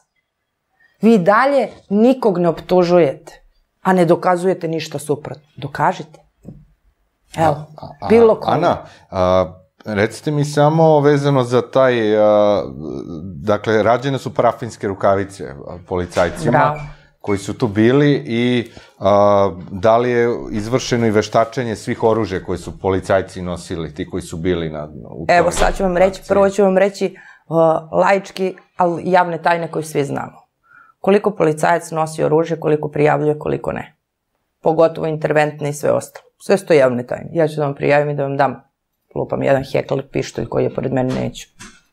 Primer vam dajem. Uh, drugo, uzeto je samo od šest lica parafinske rukavice. Ako u isto vreme četvoro policajaca trče od ozgo, jedan da stoji sa četvoricom optuženi. To je abnormalno. Gde su od ozgo policajci koji su došli u civilu? Koji su već bili isto pored Nikolinog tela? Samo su sa šestorice uzete parafinske rukavice. I čak i sa te samo šestorice, na jednom ima barutne čestice, na jednom od policajaca. Objasnite. Znači, kažem, rađeno je na Nikolu i parafinske rukavice i na Nikolini rukama. Rađeno se i DNK to za pištolje, da li ima niđen možda otisak, koliko god da ga je neko sklanju, možda i to imalo. Nigde bre ništa nema. Objasnite kako i šta je onda. Kako se upucu, kako je to moguće. Ne, prvo je nemogućnost opaljenja tog pištolja. Prvo što su radili balističari mimo centra za forenziku. A centar za forenziku čak i potvrdio da ne, ne postoji isto takva mogućnost. Ob, ne, mi neko dokaže, onda supro, šta onda, kako niko nikog ne optužuje, kako niko izgleda da nik, šta, ni za šta neće da odgovara, ni taj neko koji vrši uviđaj u šest ujutru, a to se desilo sve oko između tri i četiri, na osnovu izjava policajaca koji su umeđu vremenu mogli da sklope priču da se to sve desilo u Teksasu kako izgledalo, a ne u, u nasilju Branko Bjegović. Eto, možda mi postavite koje god hoćete pitanje, pošto sam malo uzrujena, tako da bi mogla svašta još da vam pričam. A, pa evo da pitamo gospodina Šipku, pošto je njega, dakle, on je, on je, da kažemo, pozvan isto da priča o ovom predmetu, s obzirom da je Tako njegov, Centar za forenzička istraživanja uradio svoj deo posla. I uh, do kakvi ste vi zaključaka došli, ono što sam ja dobio od, od uh, Ane je ova forenzička 3D rekonstrukcija koju ste vi uradili uh, po nalogu Višeg javnog tužilaštva iz Niša. Ovaj slučaj ubistva Nikole Albijanića je doslovce jedan od naših prvih slučaja. Kako smo mi ušli u tu priču, mi smo održali prezentaciju softvera Faro Reality u Višem javnom tužilaštvu u Nišu i onako dobronamerno ponudili, evo da vidite snagu tog softvera i snagu forenzičke 3D rekonstrukcije, dajte nam jedan slučaj, eto, po vašem izboru, da ga mi probamo rešiti. Ma, u tom sekundu dajte slučaj Nikole Albijanića. Za mene je slučaj bio nepoznat, to je početak neke naše karijere. To rekao, dajte. Uglavnom, došli su, došla je dokumentacija do nas. Uh, što Ana rekla, dešava se da lekarka hitnih, hitne pomoći ne vidi ranu na telu. U pratnji Nikolinoj ka urgentnom centru ili gde je vožen ide policajac, ako nije ranjen, nema rane na telu. Kad je pronađen, onda jedino mogo da ga neko upuca u kolima. Hitne pomoći. Razmišlja to svi varijantama, onda ma daj, gde će se sad dešavati uh, ubistvo u kolima hitne pomoći, jer kao što sam rekao, razumem i Anu i njenu porodicu, ali mi moramo analitički da prilazimo i da gledamo ono što je najrealnije. Ne kažemo mi i nikada se mi ne bavimo ko je uradio, nego način na koji se događaj desio. Ovde je bilo katastrofa, 70 svedoka, 80 različitih izjava. Ono, ne, ne znate sa koje strane gore da, da, da, da krenete.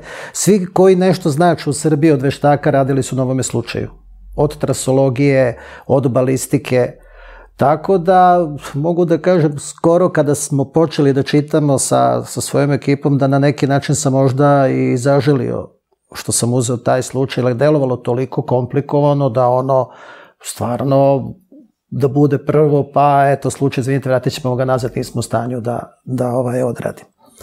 Međutim, e, s obzirom da ja u ekipi imam stvarno vrsne stručnjake, a i mene sam predmet isto zainteresova s obzirom da sam specijalista, odnosno forenzičar za 3D rekonstrukciju. Uvek ćete doći do jednog detalja koji pokreće lavinu. E, tada smo, nismo još bili hteli, razmišljali smo da li da idemo na lice mesta, odnosno u Mariborsku i Biokovsku ulicu, međutim, Bog blagoslovio Google i Google Street, ovaj, prošli su čak i kroz tu malenu uličicu Biokovsku prošao je, prošle Google vozilo, tako da smo imali sliku gde se događaj odigrao, još uvek stoji golf jedinica na mestu gde je Nikola ostavio, to verovatno po želji porodice Albijenice ne pomera, znači videli smo kada je snima na Google fotografija, golf je stojao na istom mestu na kom je na kom ga i Nikola ostavio. I kroz sad tu neka, neka razmatranja videli smo izgled na obdukcionom stolu, izgled Nikole, kažu sportista, sa mnom sam pričao, zavisi za koju vrstu sporta može, ali nije sigurno trkač. Znači, njegov, njegova konstitucija i... nije za trčanje. Da bi proverio neke parametre, sišao sam ispred svoje zgrade, odmerio tih nekih, nećemo sad tačno koliko metra da ne iznosimo baš podatke, Ovaj, I lično sam ja trčao, u to vreme sam imao neki problem sa leđima i gledao sam za koje vreme bih ja pretrčao, za koje vreme bi mlađi od mene, za koje vreme interventne jedinice. Uglavnom, prvo što, smo primetio, što sam primetio sa svojim saradnicima, nikako se ne uklapa izjava koju su dali policajci sa položajem Nikolinog tela.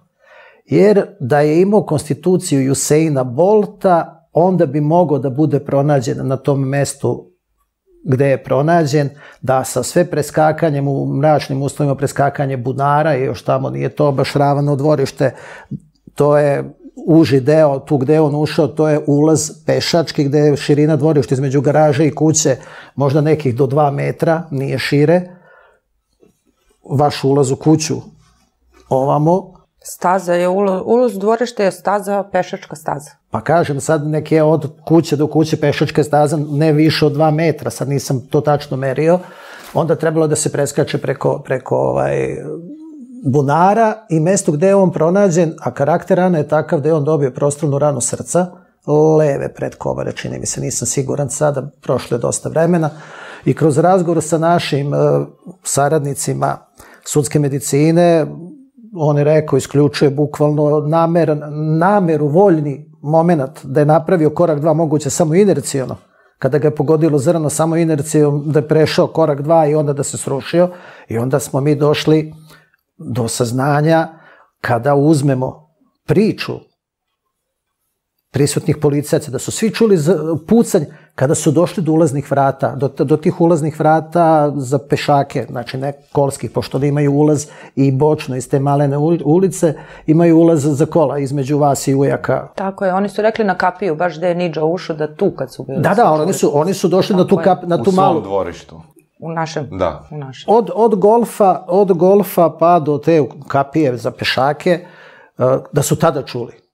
I onda došlo je do nesrazmere u brzini kretanja, onda smo pronašli neke izjave, klub koji je počelo da se odmotava, položaj njegov gde, gde je pronađen, izveštaj veštaka koji kaže preskakuje preko kapije, nema šanse da je on prostreljenog srca preskočio preko kapije. I uglavnom dolazi do uklapanja kockica u, u neke, neke detalje. Umeđu vremenu tužilaštvo da li daje broj moj porodici Albijanić, uglavnom mi stupamo u kontakt, pošto smo svi na istoj strani, znači nema razloga niti da osporavaju naš rad ili ne osporavaju, ja sam rekao mi ćemo odraditi onako kako jeste. Vršili smo nekoliko eksperimenata, tada smo onako pomalo, neću reći naivno, ali hteli smo da budemo baš perfekcionisti, čak da se ponove i neki, neki, neke analize koje su nedvosmisleno ukazivale da osoba koja bi povukla obarač pištolja, da je ruka u torbici, da su morale biti tragovi barutnih čestica na njoj, eksperimentalno je potvrđeno. To su te torbice kojima priča Ana. Mi smo tražili da se nabave još tri, četiri takve torbice, se izvrši ponovo eksperiment, bismo apsolutno bili sigurni, jer na Nikolinim rukama nije pronađen trag nitrata, bolje rečeno nego barutne čestice. Čak smo i u analizi pokazali na koji način se radi uh, taj parafinski test, da se prvo te mikro čestice koje se pronađu pogledaju pod mikroskop, one bi trebale da imaju izgled bibera u zrnu, pa da se onda kaže da, to je, potiče od, od baruta, onda difenilaminski tekst koji je uh, destruktivan, jer on uništava čestice, ne možete dva puta da uradite test, znači kako kaže ona, ovo može biti samo jedan, ovo govorim samo jednom u alo alo, tako isto se radi sa testom. Ja mislim da čak da je kod Nikole, nisam siguran da li je rađen folijama ili parafinska baš rukavica, zato što kad je neko mrtava, onda se odradi nekad i parafinski, onda on baš svaku poru zapuši. U krajnjoj liniji nebitno, stvarno ne mogu se setim baš tih detalja, ja. da li bila folija ili parafin, uglavnom njemu nisu pronađene. A su pronađene te torbice, ta torbica u kojoj... Torbica je bila pronađena pored Nikole, pored Nikole, ali ne uklapa se u priču policajaca koji kažu da je njemu torbica bila preko ramena. Torbica je pronađena pored Nikole i Nikolina, mislim, leva ruka je bila na torbici. Ni u kom slučaju, prilikom preskakanja, prilikom e, kretanja, manipulacije, nije moglo da se desi da torbica njemu ne bude okačeno vrat, jer tako su pričali da je bila torbica na njemu kada je izvršio bežanje. Ja kad sam razgovarao sa porodicom Albijanić, ovde definitivno je Nikola, nažalost, napravio smrtnu grešku što je bežao od interventne jedinice, jer oni njemu jesu rekli stani, stani. Uh, Tvrdili su da je torbica bila njemu na ramenu, ja ne mogu da kažem nije, jer nemamo argumentaciju, imamo izjave državnih organa, ali se ne uklapa ona priča da su tu torbicu, odnosno da tu torbicu nisu pronašli kroz detaljnog pregleda golfa Ili su tražili drogu, možda oružje. već. Znači, urađen je kompletan pregled golfa jedinice i ništa nije pronađeno. Međutim, definitivno da Nikola se udaljavao od pripadnika, od pripadnika interventne jedinice. E, tu ima izjava gde prva komšenica kaže čula je tri osobe, čula je neko kako već izlazi, izlazi, izlazi, videla je tri osobe, kako te tri osobe idu ka kapiji i onda je čula udar i pad. E, slučaj nije nerešiv. Za razliku od e, slučaja o kom smo pričali u toku emisije Velibora Vučurovića, gde je mnogo nepoznanica, ovaj slučaj je, da kažem, 50% rešiv. U kom smislu 50% rešiv? Apsolutno, svim autoritetom koji imaju moji stručnjaci i ja, na osnovu materijalnih tragova isključujemo da je Nikolina ruka bila u torbici i povukla obarač pištolja kojom je ispaljen projektil koji je u krajnjoj liniji usmrtio Nikolu. Da vam kažem, ne možemo mi da znamo ni s kog pištolja je on usmrćen. Svi pištolji od policajaca imali su tragova nedavnog pucanja. Ovaj pištolj ima tragove nedavnog pucanja. Nemate projektil osnovu koga ćete da odradite ovaj, analizu i onda ne znate koje je, koje je zrno pogodilo, pogodilo Nikolu. E, ali sa apsolutnom sigurnošću isključujemo da je to radio Nikola. Ko je onda uradio? Pa ajde da vidimo ko je bio u dvorištu sa Nikolom. Kao što smo napisali u našoj analizi, mi ne možemo da, odnosno sa sigurnošću možemo da isključimo da to nije uradio Nikola. Ali ja ne mogu, niti postoji po materijalnim tragovima koje imamo bilo koji balističar, veštak, trasolog na svetu koji može da kaže ko je povukao obarač. I same analize u, u, koju, u koju ste imali prilike da vidite opet, došli ste do analize, ja sam tu prihvatio da dođem, da izanaliziram, jer smo to mi radili, ipak smatram da je ovo trebalo da se uradi na, zvaničan, na zvaničnom delu, da je to tužilaštvo trebalo da uradi. Uh, da se sprovedu par testova za koje smo tražili da se urade, to su te torbice kojima je Ana govorila, ona je odnela u Novi Sad, jer sam ja zamolio da se to radi u Novom Sadu, u NKTC-u, i da mi prisustujemo, odnosno da prisustvuju veštaci uh, koji sarađuju sa mnom, uh, Đura Varga i Vladimir Dopuđa, ništa od toga nije bilo. Prvo, na veštačenje se čekalo od naredbe do izvršetka skoro godinu dana ili tako nekako. Uh, veštačenje je urađeno ne po zadatim, što je bilo i obaveza NKTC-a po naredbi o veštačenju da postupe, nego su odradili, pa neću da kažem, profesionalno, neprofesionalno, ali nisu odradili onako kvalitetno da bi se isključio moment da li je Nikola mogao da povuče obarač ili ne, ali 3D rekonstrukcijom kada smo i putanje uporedili, sve ono što se dešavalo, apsolutno isključujemo da je obarač povukao Nikola Albijanić.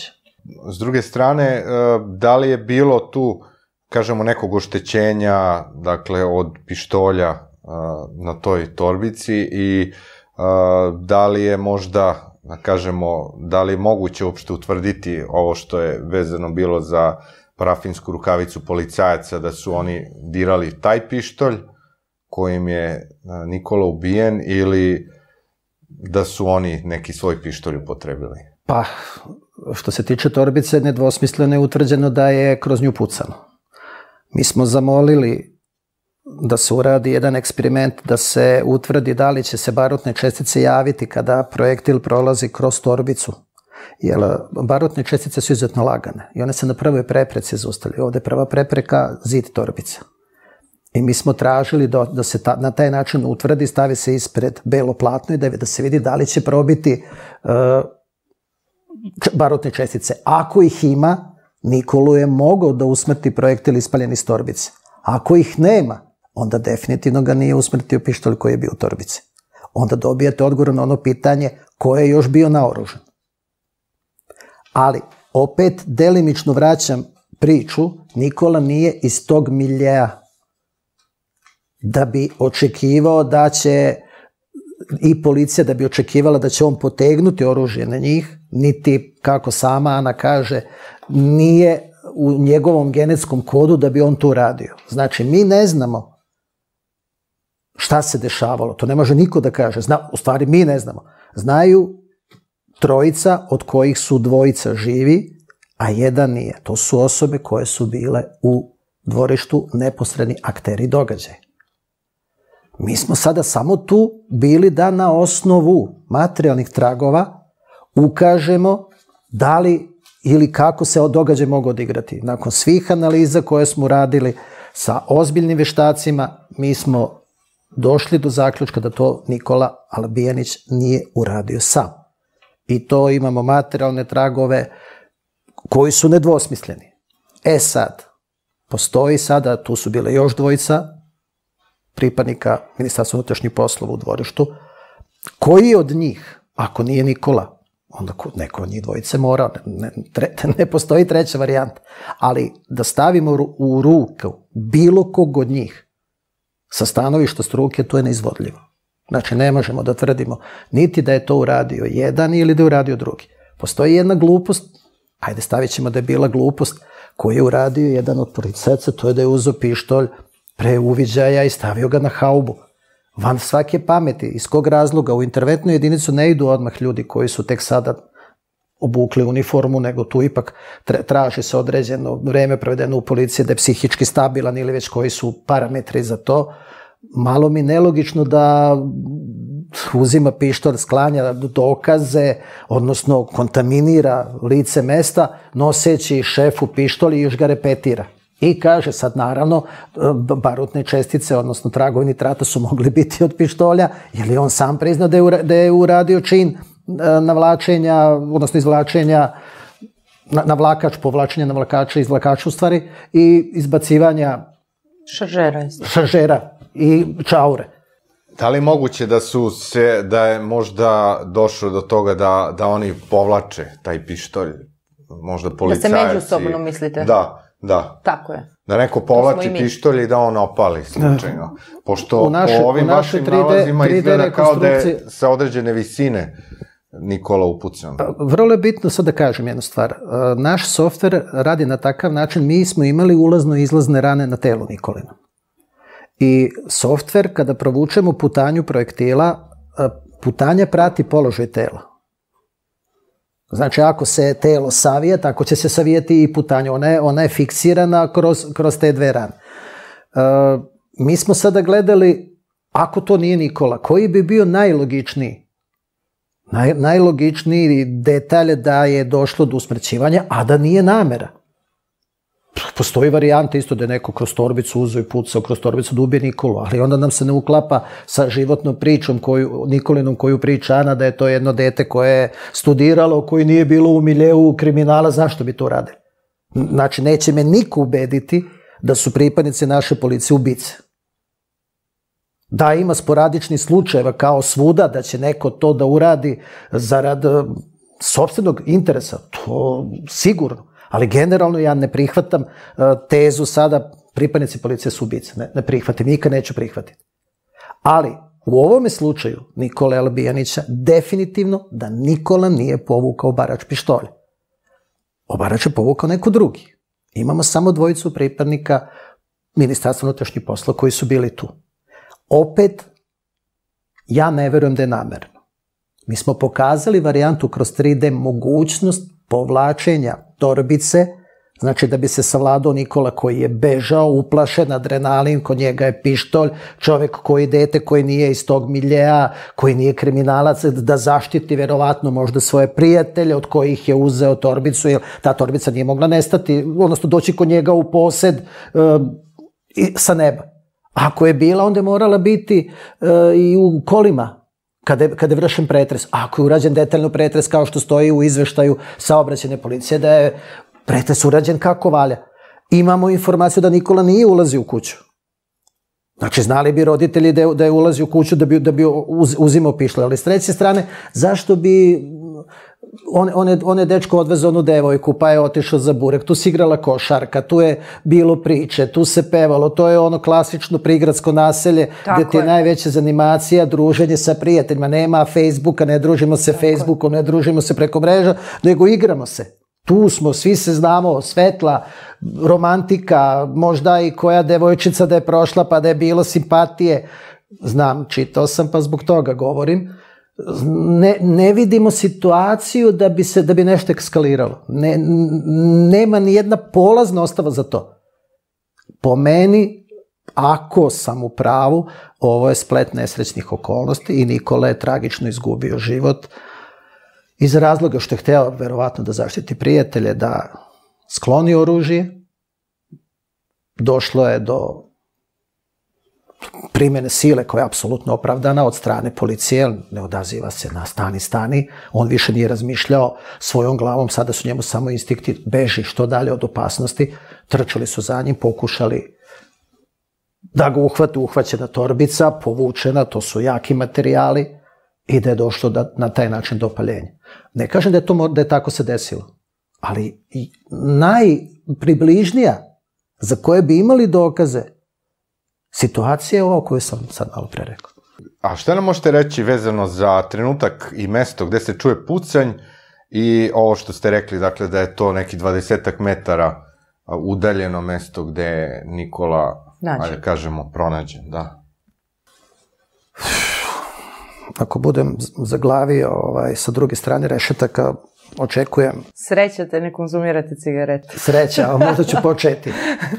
Ovaj, Šalim, ono što je nama, ja se ne šalim, nažalost, ovaj, ono što je nama privuklo eh, pažnju, to su izjave policajaca koji svi redom kažu da su pred ulazak u dvorištu, prvo to dvorište manje, znači to je između kuće i garaže, u stvari to nije dvorište, to je staza, da je ovaj, da su čuli pucanje. Uzmimo službenu belešku, u službenoj belešci policajac navodi da je prelazio preko bunara u dvorište ujaka. I onda nam je sad za trenutak ostalo čudno zašto bi sada pripadnik policije sasvim drugačije govorio pred istražnim sudijom, sasvim drugačije izjave od onoga što stoji u službenoj belešci. Vratimo nazad događaj, izvršimo premeravanja preko satelitskih tih snimaka, dobijemo neka rastojanja, izjave policajaca, brzinu, ono što sam rekao da sam ja testirao preko sebe, pa sam još na to dodao opterećujući ovaj, i Nikolu i policajce. Policajce sam usporavao da su mnogo sporiji nego što jesu Nikoli, sam davao brzinu koja bi bila na neki način i veća nego što bi realno trebalo da bude. I ako je, ako je tačna izjava da su policajci kad su došli do ulaza te male kapije, Nikola ni u kom slučaju nije mogao biti na onome mestu gde je pronađen. Mi smo tu radili jednu animaciju u softveru uh, Faro Reality, crvena i plava tačka koje pokazuju gde bi se ko nalazio da su se kretali nekom tom br brzinom o, o kojoj pričamo. Kažem, Nikola bi se mogao naći u Biokovskoj ulici, to je ova spo, po, sporedna, je li tako? Iza kuće kao. I za kuće, na primjer, da je Usain Bolt ili da je onaj drugi što preskače prepone, uh, a da ima pri tome vid kao s onim no, noćnim vizirom, Nikola nosi naočare. plus da nosi naočar, da je taj toliko brzo trčao po mraku između uh, preskakajući bunar i sve to nikako se ne uklapa, tako da mi smo zaista se trudili da rekonstruišemo događaj maksimalno onako spram postojećih uh, parametara. Bili smo u kontaktu sa višim javnim tužilaštvom, kontaktu sa porodicom Albijanić. Ja sam i sada rekao pre nekoliko dana Ani da je ovaj slučaj završen. Iz kog razloga? Iz razloga što je prošlo dvostruko vreme od apsolutna zastara, dvostruko vreme za kaznu za ubistvo iz nehata. Iskreno rečeno ne vidim ono što je mene zbunilo, zašto neko od policajaca nije i rekao ako se događaj odigrao kao što sam rekao ovako, pa apsolutno tu nema ni u od ubistva. Znači jednostavno nastradao je nesretnim slučajem jer je bežao od policije. Ako se tako odigralo kao što, što mi pričamo. Pa čak i da postoji neka odgovornost u intervenciji policajca sad je zastaralo. To nema više krivičnog gonjenja, jer je prošlo već 12 godina. 12. godina. 12. će biti u stvari 29. Sedmog. 29. jula. Zastaralo je. O ubistvu nekome pričati nema šanse, jer ne možete nikako sa- spram postojećih ovih e, tragova reći da je to bilo ko od pripadnika Ministarstva unutrašnjih posla radio namerno, da bi se moglo suditi, da bi, da bi bilo e, tretirano kao ubistvo. Ono što sam ja predložio Ani, a to je jednostavno neka napravi na neki način sporazum sa sobom, sa porodicom, sa tužilaštvom, sa Bogom, sa kim god smatra da treba, da se javno kaže Nikola se nije ubio, odnosno da Nikola nije stradao, od njegova ruka nije povukla obarač pištolja koji je ispalio projektil koji je na, u krajnjoj liniji doveo do usmrćivanja Nikole, ali da se ne može ni utvrditi ni ko je povukao obarač.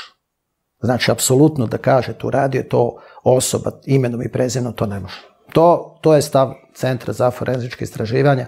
Čini mi se da tako i pišu njemu. Davno sam ga čitao i mi nepokolebljivo ostajemo pri tome stavu.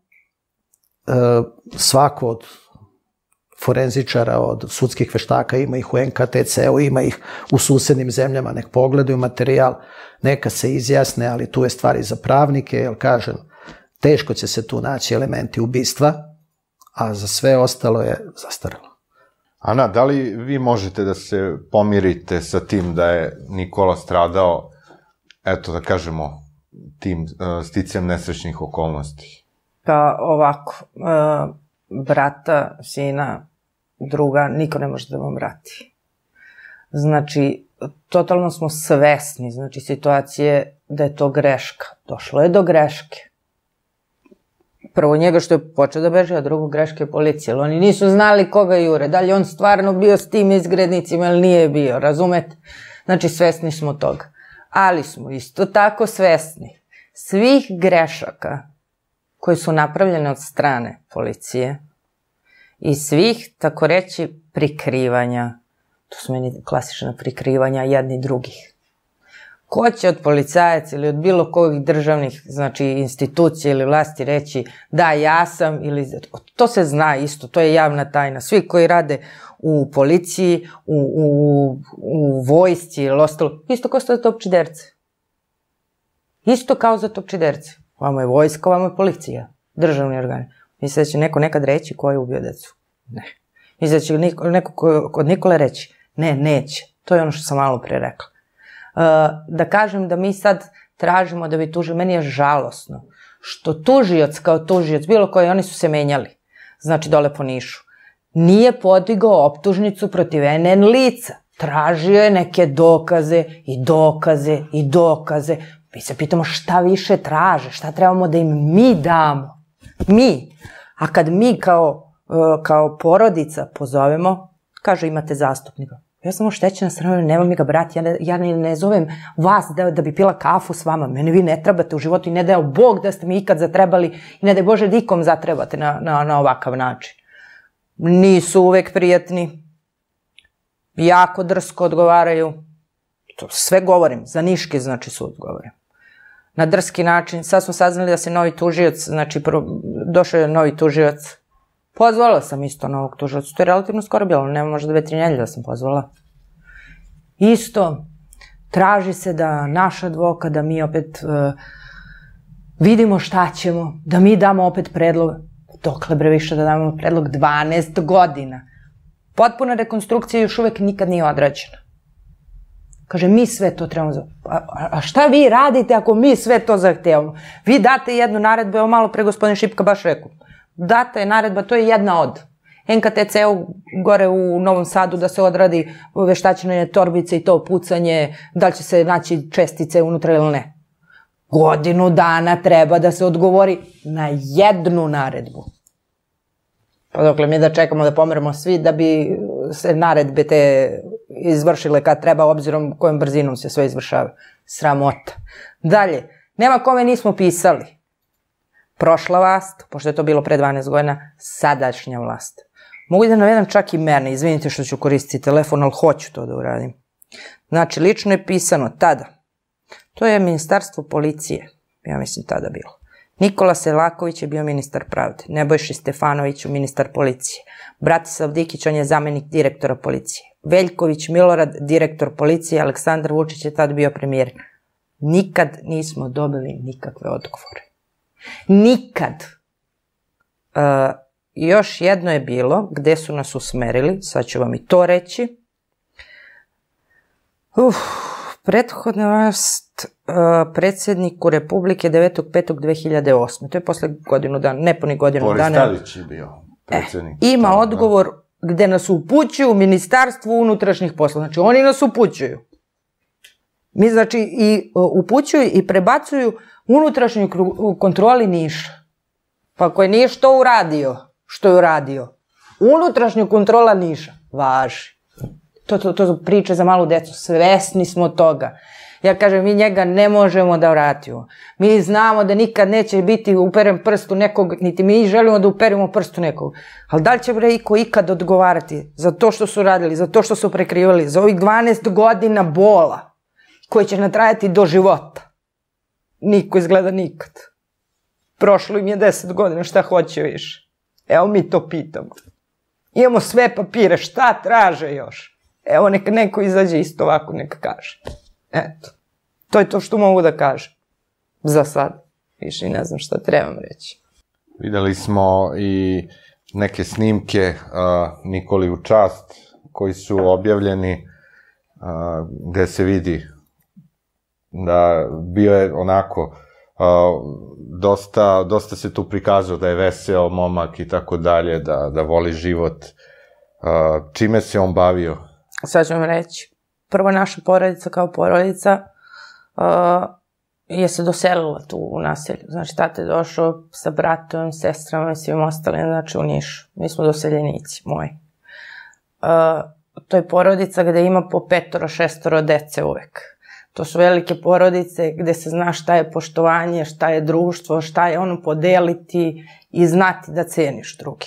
To je broj jedan. Da li neko bio power, da li neko bio doktor nauka, to je za nas isto, to kod nas nema veze. Kod nas u kući se znalo, kad neko uđe, zna se da taj gost prvi taj sedne, zna se da taj, znači neko nešto radi, da si ti taj koji ćeš da služiš i da budeš gostoprimljiv, nasmejan, uvek ljubazan.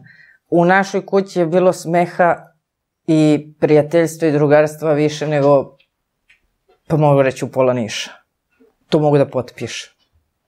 Prošlo su mi roditelji takvi kakvi jesu, a onda i mi. Jer velika porodica iziskuje tako nešto. Moj tata ima dva brata i dve sestre, gde su nas po dvoje, troje, znači od, od, od njih. Mi smo deca koje su tu, znači, doseljena, to su, to, to, to, to su porodice, znači, gde smo se svi družili. To, ne, to se nije znalo ko je čiji, što ja kažem, kad su na ulici.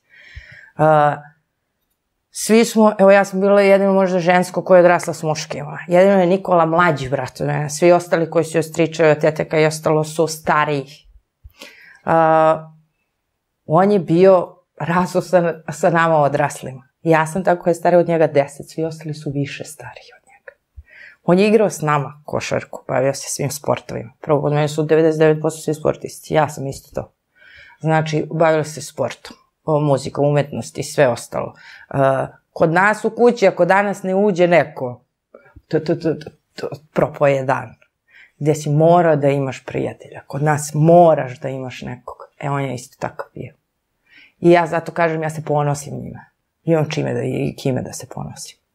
Znači, rezultate u sportu je imao. Uh, u društvu, u prijateljstvu, ružnu reč nisi mogao čuti. Ne možeš. Sada nađete ne, jedno čoveka, ne možeš da ga naći. Znači ne možeš, ja kažem, ja, pre se nađe za mene, ona je bila besna, ona ovako, ono, ne mogu za njega da kaže. Znači ne mogu.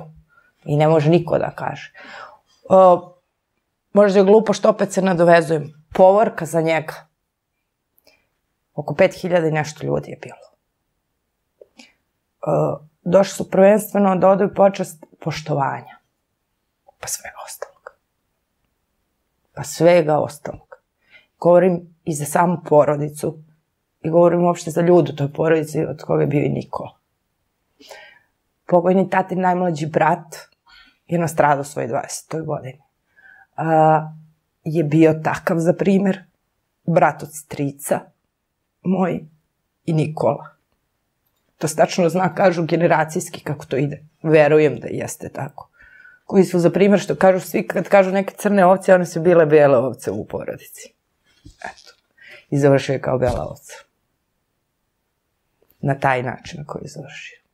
A, Da li mislite da ćete ikad otkriti to što vas najviše muči i a, da li ima neke šanse možda da eto da a, da, ne, da na neki način ta istina vas smiri Uh, ovako. ako biste otkrili da otkrijemo ko je, teško. Ne verujem da će se iko prijaviti. Da upirem prstom u jednog, mogu. Ako ništa drugo, na ono koje je česticu tu imao.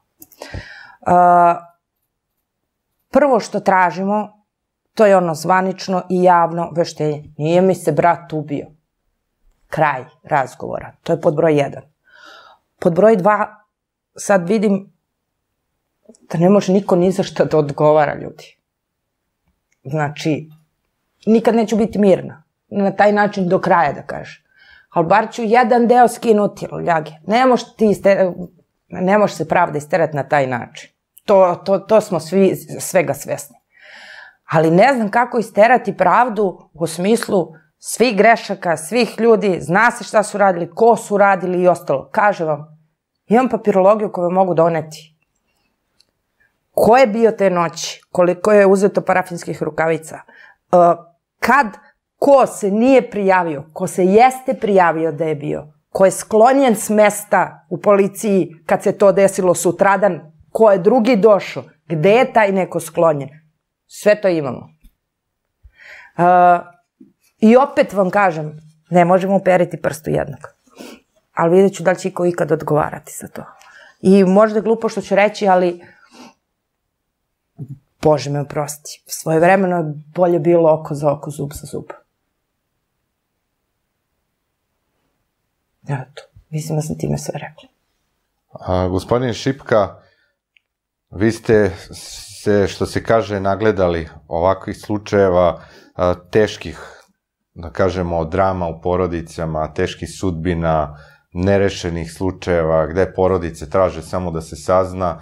Mnogima možda više nije ni bitno da koja će kazna biti tom nekom, nego samo da saznaju ko je počinilac.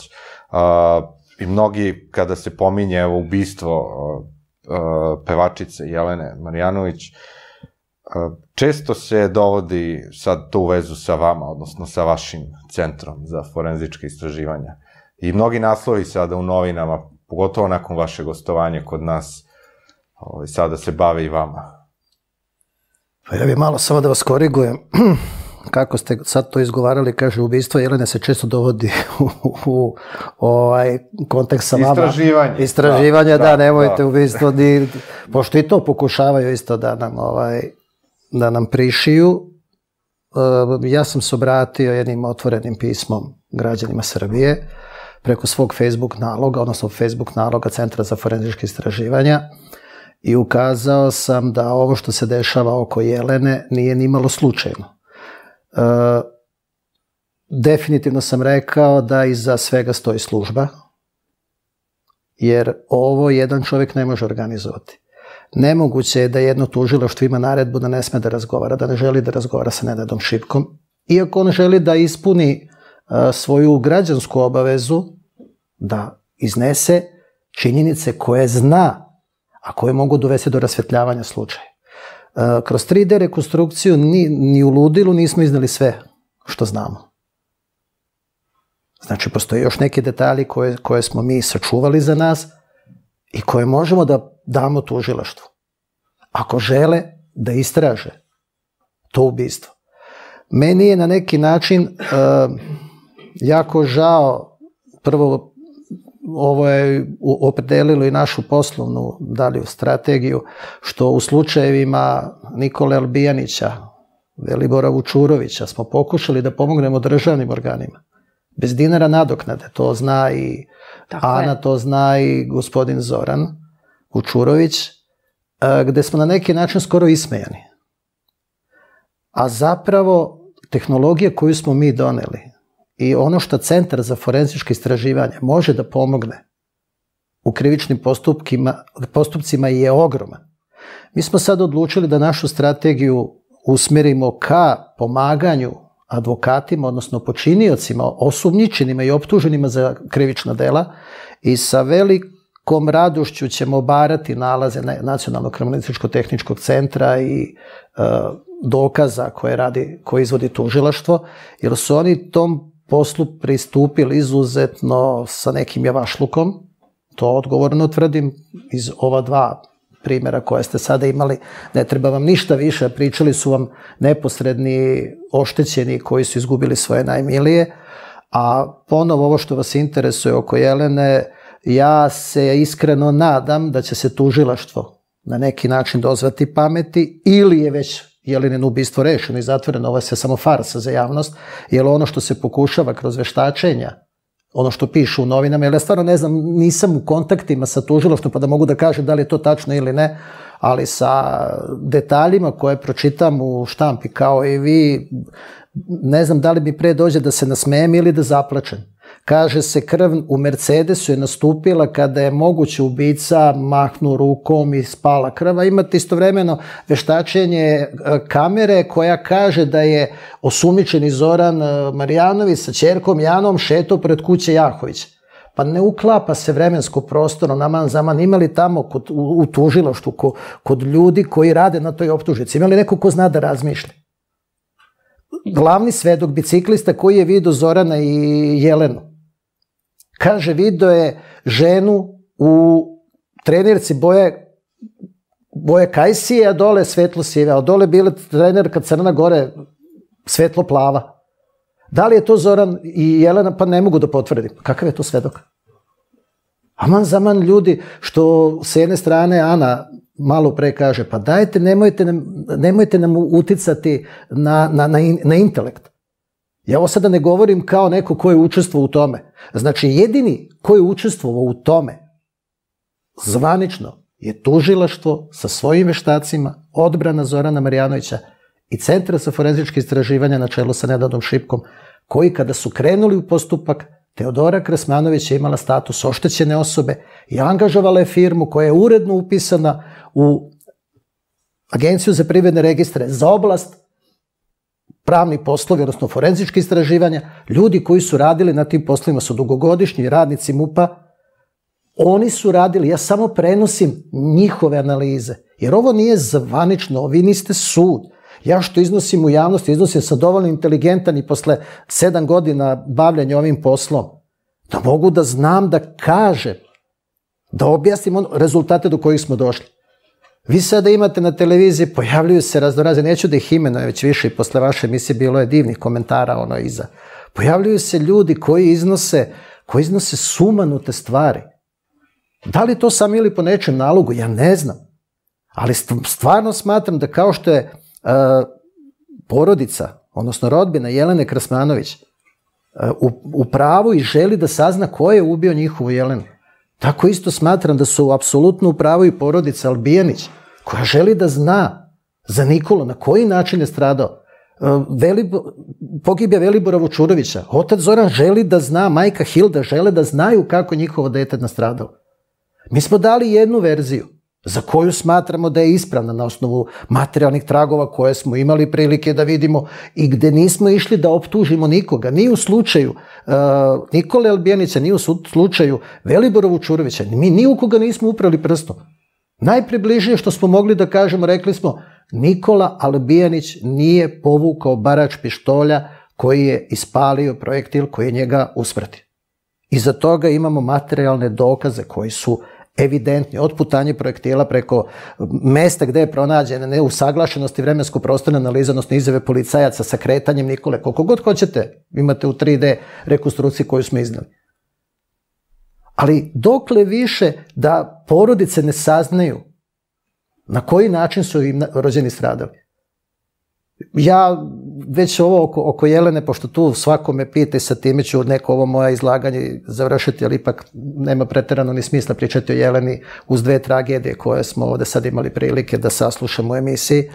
Ovaj, stravično je, kao struka, ko se sve pojavljuje na televiziji da komentariše.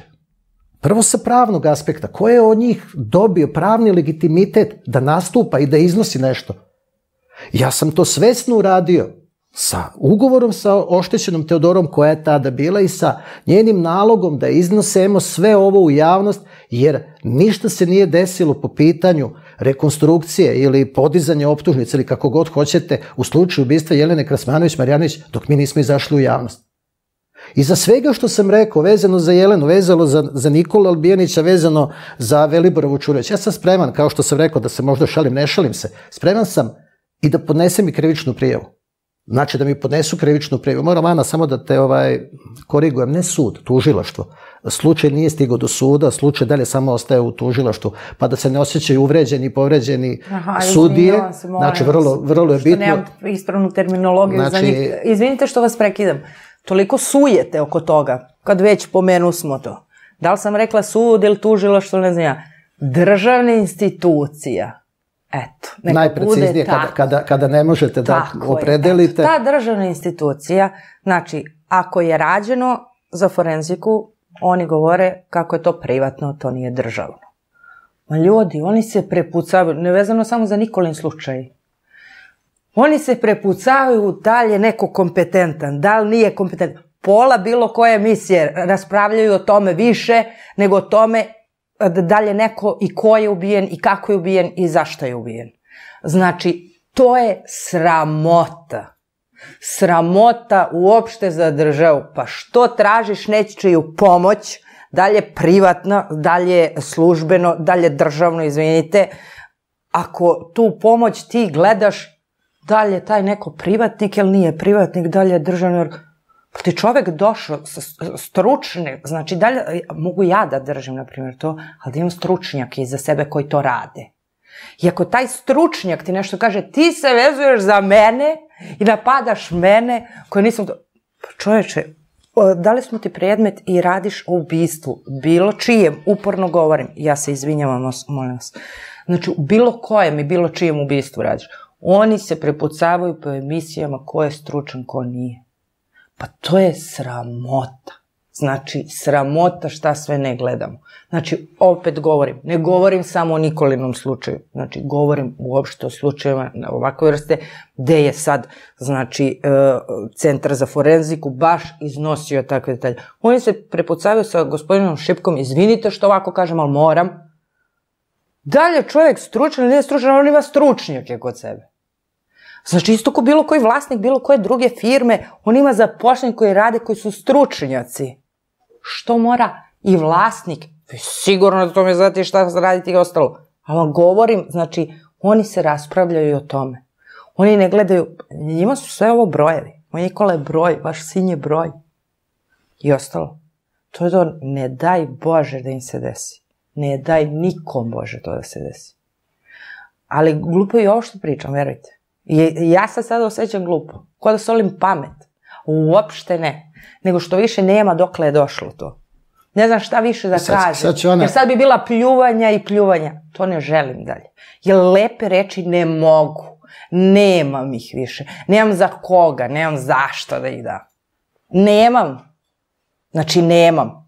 Ja kažem gospodinu Šipki i njima, hvala. Mi smo ih mi angažovali. Ljudi radili po svojoj savesti. Nit mi rod, nit pomoć Bog, nit sam ih ja angažovao, nit Bože daj.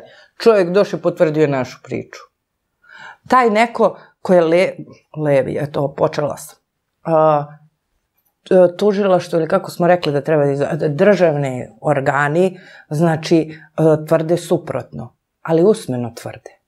Bez dokaza i bez toga da su javno izneli i pobili ono što su tražili pomoć i tražili od čoveka totalno drugo, znači ne mi da ga angažujemo, nego ti si tražio. Taj ti se, ne sviđa ti se to što ti je čovek rekao. Pa izvini, molim te, pobi, dokaži, izađi, reci. svu papirologiju imamo, ne znam kome mi da se obratimo, kome više šta, vama beskrajno hvala. Vi ste prvi gde smo javno ovako se obratili, na primjer, negde. I kažem vam, prvo što smo tu i mi da kažem za saradnju vama, jer možda pomognete. Znači, hvatamo se za sve slamke spasa koje postoje.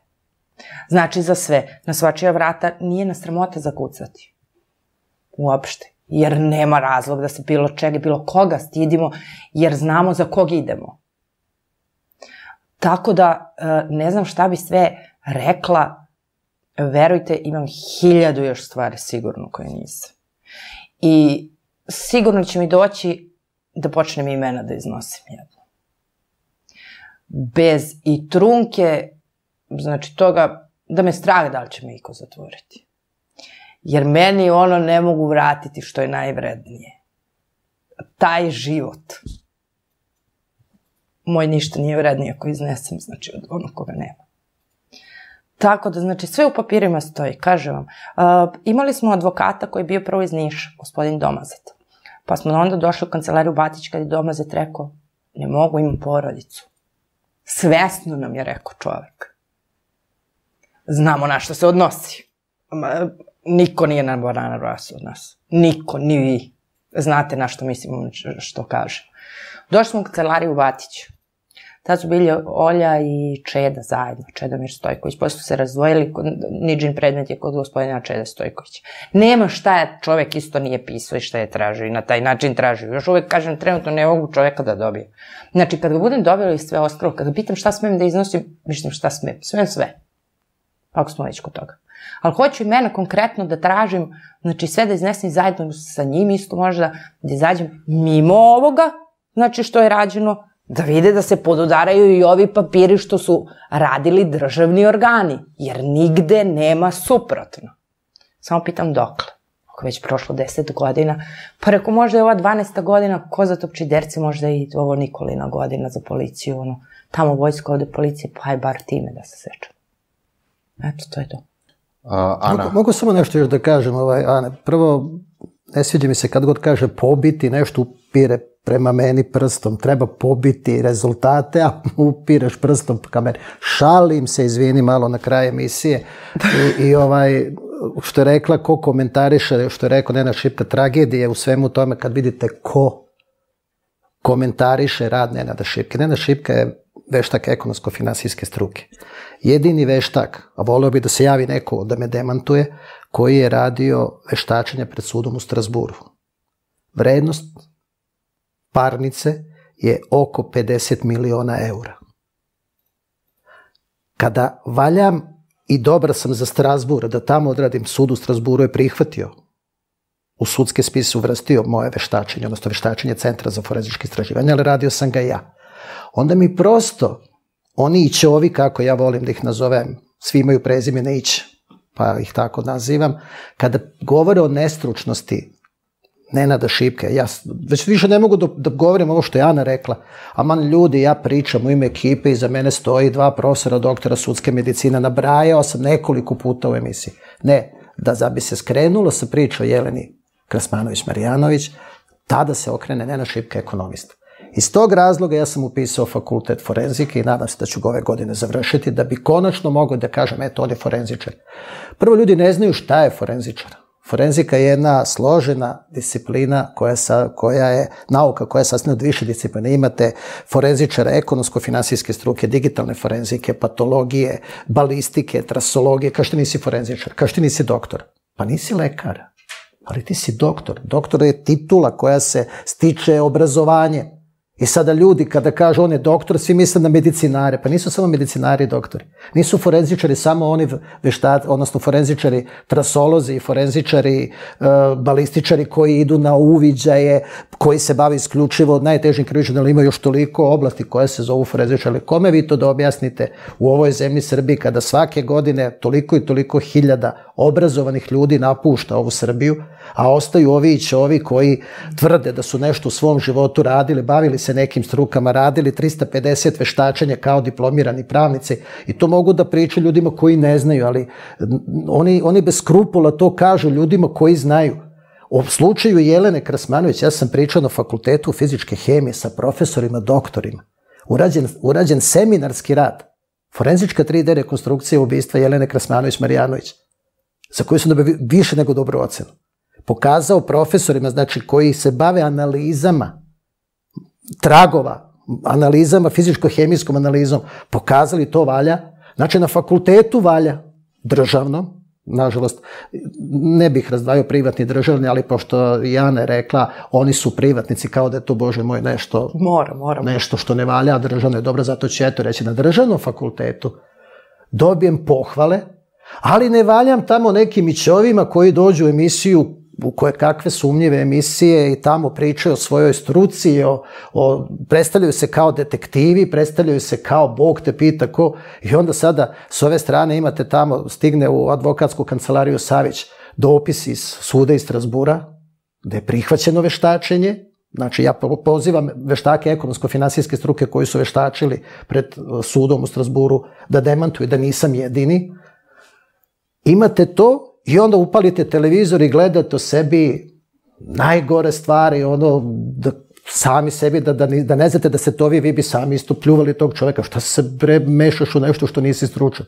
A to što su moji veštaci zajedno radili preko 10.000 slučajeva, to nikom ništa. Pa ja nikada nisam rekao da sam ja, sem trodimenzionalne rekonstrukcije, zato ima nas trojica u Srbiji, ja sam forenzičar trodimenzionalne, odnosno forenzičke 3D rekonstrukcije, imam napisan rad u časopisu u Crne Gori, pošto kod nas ne postoji časopisi za veštake, e, gde smo znači izneli tu jedino Nenad Šipka bio. Sve ostalo su radili ljudi koji su iz svoje struke. I kao što Ana kaže, opet, ne bavimo se da li Jelena ubijena na nasipu, da li ona majica koju profesor Stanković kaže da je da zadobila udarce u kanalu crvena, A vidi se na fotografijama, pokazivali smo i ovde kod vas u emisiji da nije, ali ne, mi ćemo ostati pri toj optužnice da je Jelena ubijena u kanalu, zašto? S namerom da optužnica padne. I sada mi svi koji ole malo imamo soli u glavi treba da preko toga prećutimo i da kažu pa dobro, nema veze, eto, nečiji interes treba da se da se ubije nečija čerka, žena, majka, rođaka, nema veze, sistem je takav da su, ja to ne mogu da prihvatim. Zato sam i u tom otvorenom pismu koje sam napisao obećao Teodori Krasmanović idem do kraja, ma koliko to bilo bolno, ali definitivno sam joj rekao bez razgovora sa višem janim tužiocem i bez njih, odnosno ne možemo mi rešiti, mogu da reše samo više javno tužilaštvo da podigne optužnicu, pa da ako optužnica bude kvalitetna, da ovaj na sudu ona opstane i da posle toga u nekom redovnom sudskom postupku iz, iznošenjem dokaza da dođe do osude okrivljenog, odnosno sumnjičenog. Znači, nikakvi mi nismo osvetnici Zoro i Robin Hood ili ne znam šta, da na takav način možemo da izvršimo isterivanje pravde, da ljudi ne misle i ovi koji nas gledaju da se mi time bavimo. Mene, mi pomažemo u ovakvim situacijama državnim organima da se analiziraju dokaze, da se kvalitetno sastavi optužnica da bi se moglo ući u krivični postupak. Ana, želimo vam puno, da kažemo, a, uspeha u tome da nađete. Sreće je to više biti. Verujte mi. Pored svega ovoga šta smo prošli, da nađete neki sreće. svoj mir. Hvala vam što ste bili. Hvala vam veliko. Hvala vam veliko. Gospodin Šipka, hvala i vama što ste bili naš gost. Poštovani gledalci, bila ova emisija aktuelno, produkcije Balkan Info, hvala vam na pažnji i prijatno. Kosovo je neraskidivi deo Srbije, dogodine u Prisljenu. Naručite naše majice na sajtu balkaninfo.rs.